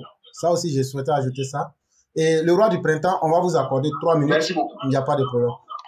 Le, le roi du printemps, vous avez trois minutes pour faire la conclusion finale. Ok, merci beaucoup. Et merci à tout le monde. Et moi, j'aimerais dire aux gens que la Côte d'Ivoire est un pays sérieux. Comme le candidat le disait, le président Hassan Ouattara en 2020, et lui-même il l'a vu, il, a, il avait prononcé ces mots pour dire que la Côte d'Ivoire ne va plus retourner dans la main de ceux qui l'ont détruit. Et donc, nous, on considère que la Côte d'Ivoire est lancée dans son développement et qui va continuer. Euh, ce que le Sucre a dit concernant les Makaye et Basile, et tout cela, ce sont des corps. La, centrale, euh, comme on appelle, syndicale ou dignité, là, voilà. Et tout ça, ça, ce sont des trucs que le EPA avait créés. Vous, euh, dignité, euh, la force ouvrière, euh, FESACI, et ainsi de suite. Tout ça, c'était un pays. Donc, ceux qui ont demandé la libération des prisonniers politiques et qui, au lieu d'aller défendre les droits des travailleurs, vous devrez comprendre qu'ils sont dans une logique. Et c'est ce qui a déjà commencé. Quand on parle, on sait de quoi nous parlons. Et aux militants de rester mobilisés, de ne jamais garder, baisser la garde, parce que nous partons à des élections. Et comme moi, je l'ai dit, moi, quand moi j'ai fini de voter, moi là, personne ne viendra soustraire moi ma voix que moi j'ai donnée. En tout cas, euh, au RADP, de quelque raison que ce soit. Ça, on va pas s'entendre. Leur cellule antifraude, on sait qui est derrière ça et on sait pourquoi ça a été créé. Mais eux-mêmes, ils seront noyés dans leur cellule-là. Donc, il faut que ça soit clair. Mais nous, on continue d'aider le président Hassan Ouattara. On continue de faire en sorte que la, la paix qui a été retrouvée continue de régner sur la Côte d'Ivoire. Et aussi euh, dire, aux, euh, comme on rappelle aux militants du RADP, que le I-militant qui est là, il faut aller s'inscrire. Tu veux devenir militant RADP, il faut que tu aies la carte de militant qui atteste que toi, tu es un militant du RADP. Mais quand tu vas dire à quelqu'un, je suis militant du RADP, mais si tu n'as pas, tu n'es même pas capable de présenter la carte de militant, tu es un sympathisant. Je suis sympathisant et je suis militant, ce sont deux choses différentes. Quand tu as la carte euh, de militant, tu deviens automatiquement un militant. Mais tu aimes le parti, tu n'as pas la carte de militant, tu es un sympathisant. Mais être sympathisant, c'est une très bonne chose. Mais être militant est une excellente chose. Continuons à aider le président. Allons-y, nous inscrire dans les différents comités de base euh, sur le e-militant pour être des militants pleins du RADP. Et vraiment, c'est sur ça, j'allais m'arrêter et puis dire aussi que le débat qui va se passer demain, moi, je, souhaite que ce débat se déroule dans de meilleures conditions, dans un climat de paix, dans un climat de fraternité. Nous ne sommes pas ici pour nous opposer. Nous ne sommes pas ici pour créer la guerre. Nous sommes ici pour faire en sorte que la paix puisse régner en Côte d'Ivoire et d'organiser des débats constructifs euh, au bout euh, duquel nous pouvons tirer des conclusions et nous pouvons retenir quelque chose et non d'organiser un débat où on ne pourra rien euh, retenir. Et j'aimerais dire, euh, dans un premier temps aussi, merci à Éclaireur, et je réitère encore moi mes propos que j'ai dit la fois passée. Si le débat a lieu et que les esprits ont commencé à se chauffer, moi je ne vais pas euh, cacher mes mots que moi j'ai dit, je vais les répéter. Je vais demander à Éclaireur d'arrêter le débat. Ici, ce n'est pas un tribunal, nous sommes ici pour se faire comprendre. Si on commence le débat et que ça devient houleux, éclairé, tu arrêtes le débat et puis on va passer à autre chose. Mais nous, nous donnons la parole à tous les ressortissants des différentes régions de venir débattre des problèmes de leur région, dans la fraternité, dans la courtoisie et dans le respect. En tout cas, moi, c'est mon vœu. Je veux que ça se passe bien éclairé. Vraiment, bonne soirée à chacun. Merci. Merci beaucoup, le roi. Toi-même, après, il y aura un débat, toi et moi, parce que tu me dois maintenant 40 secondes 77 centimes. Plus les...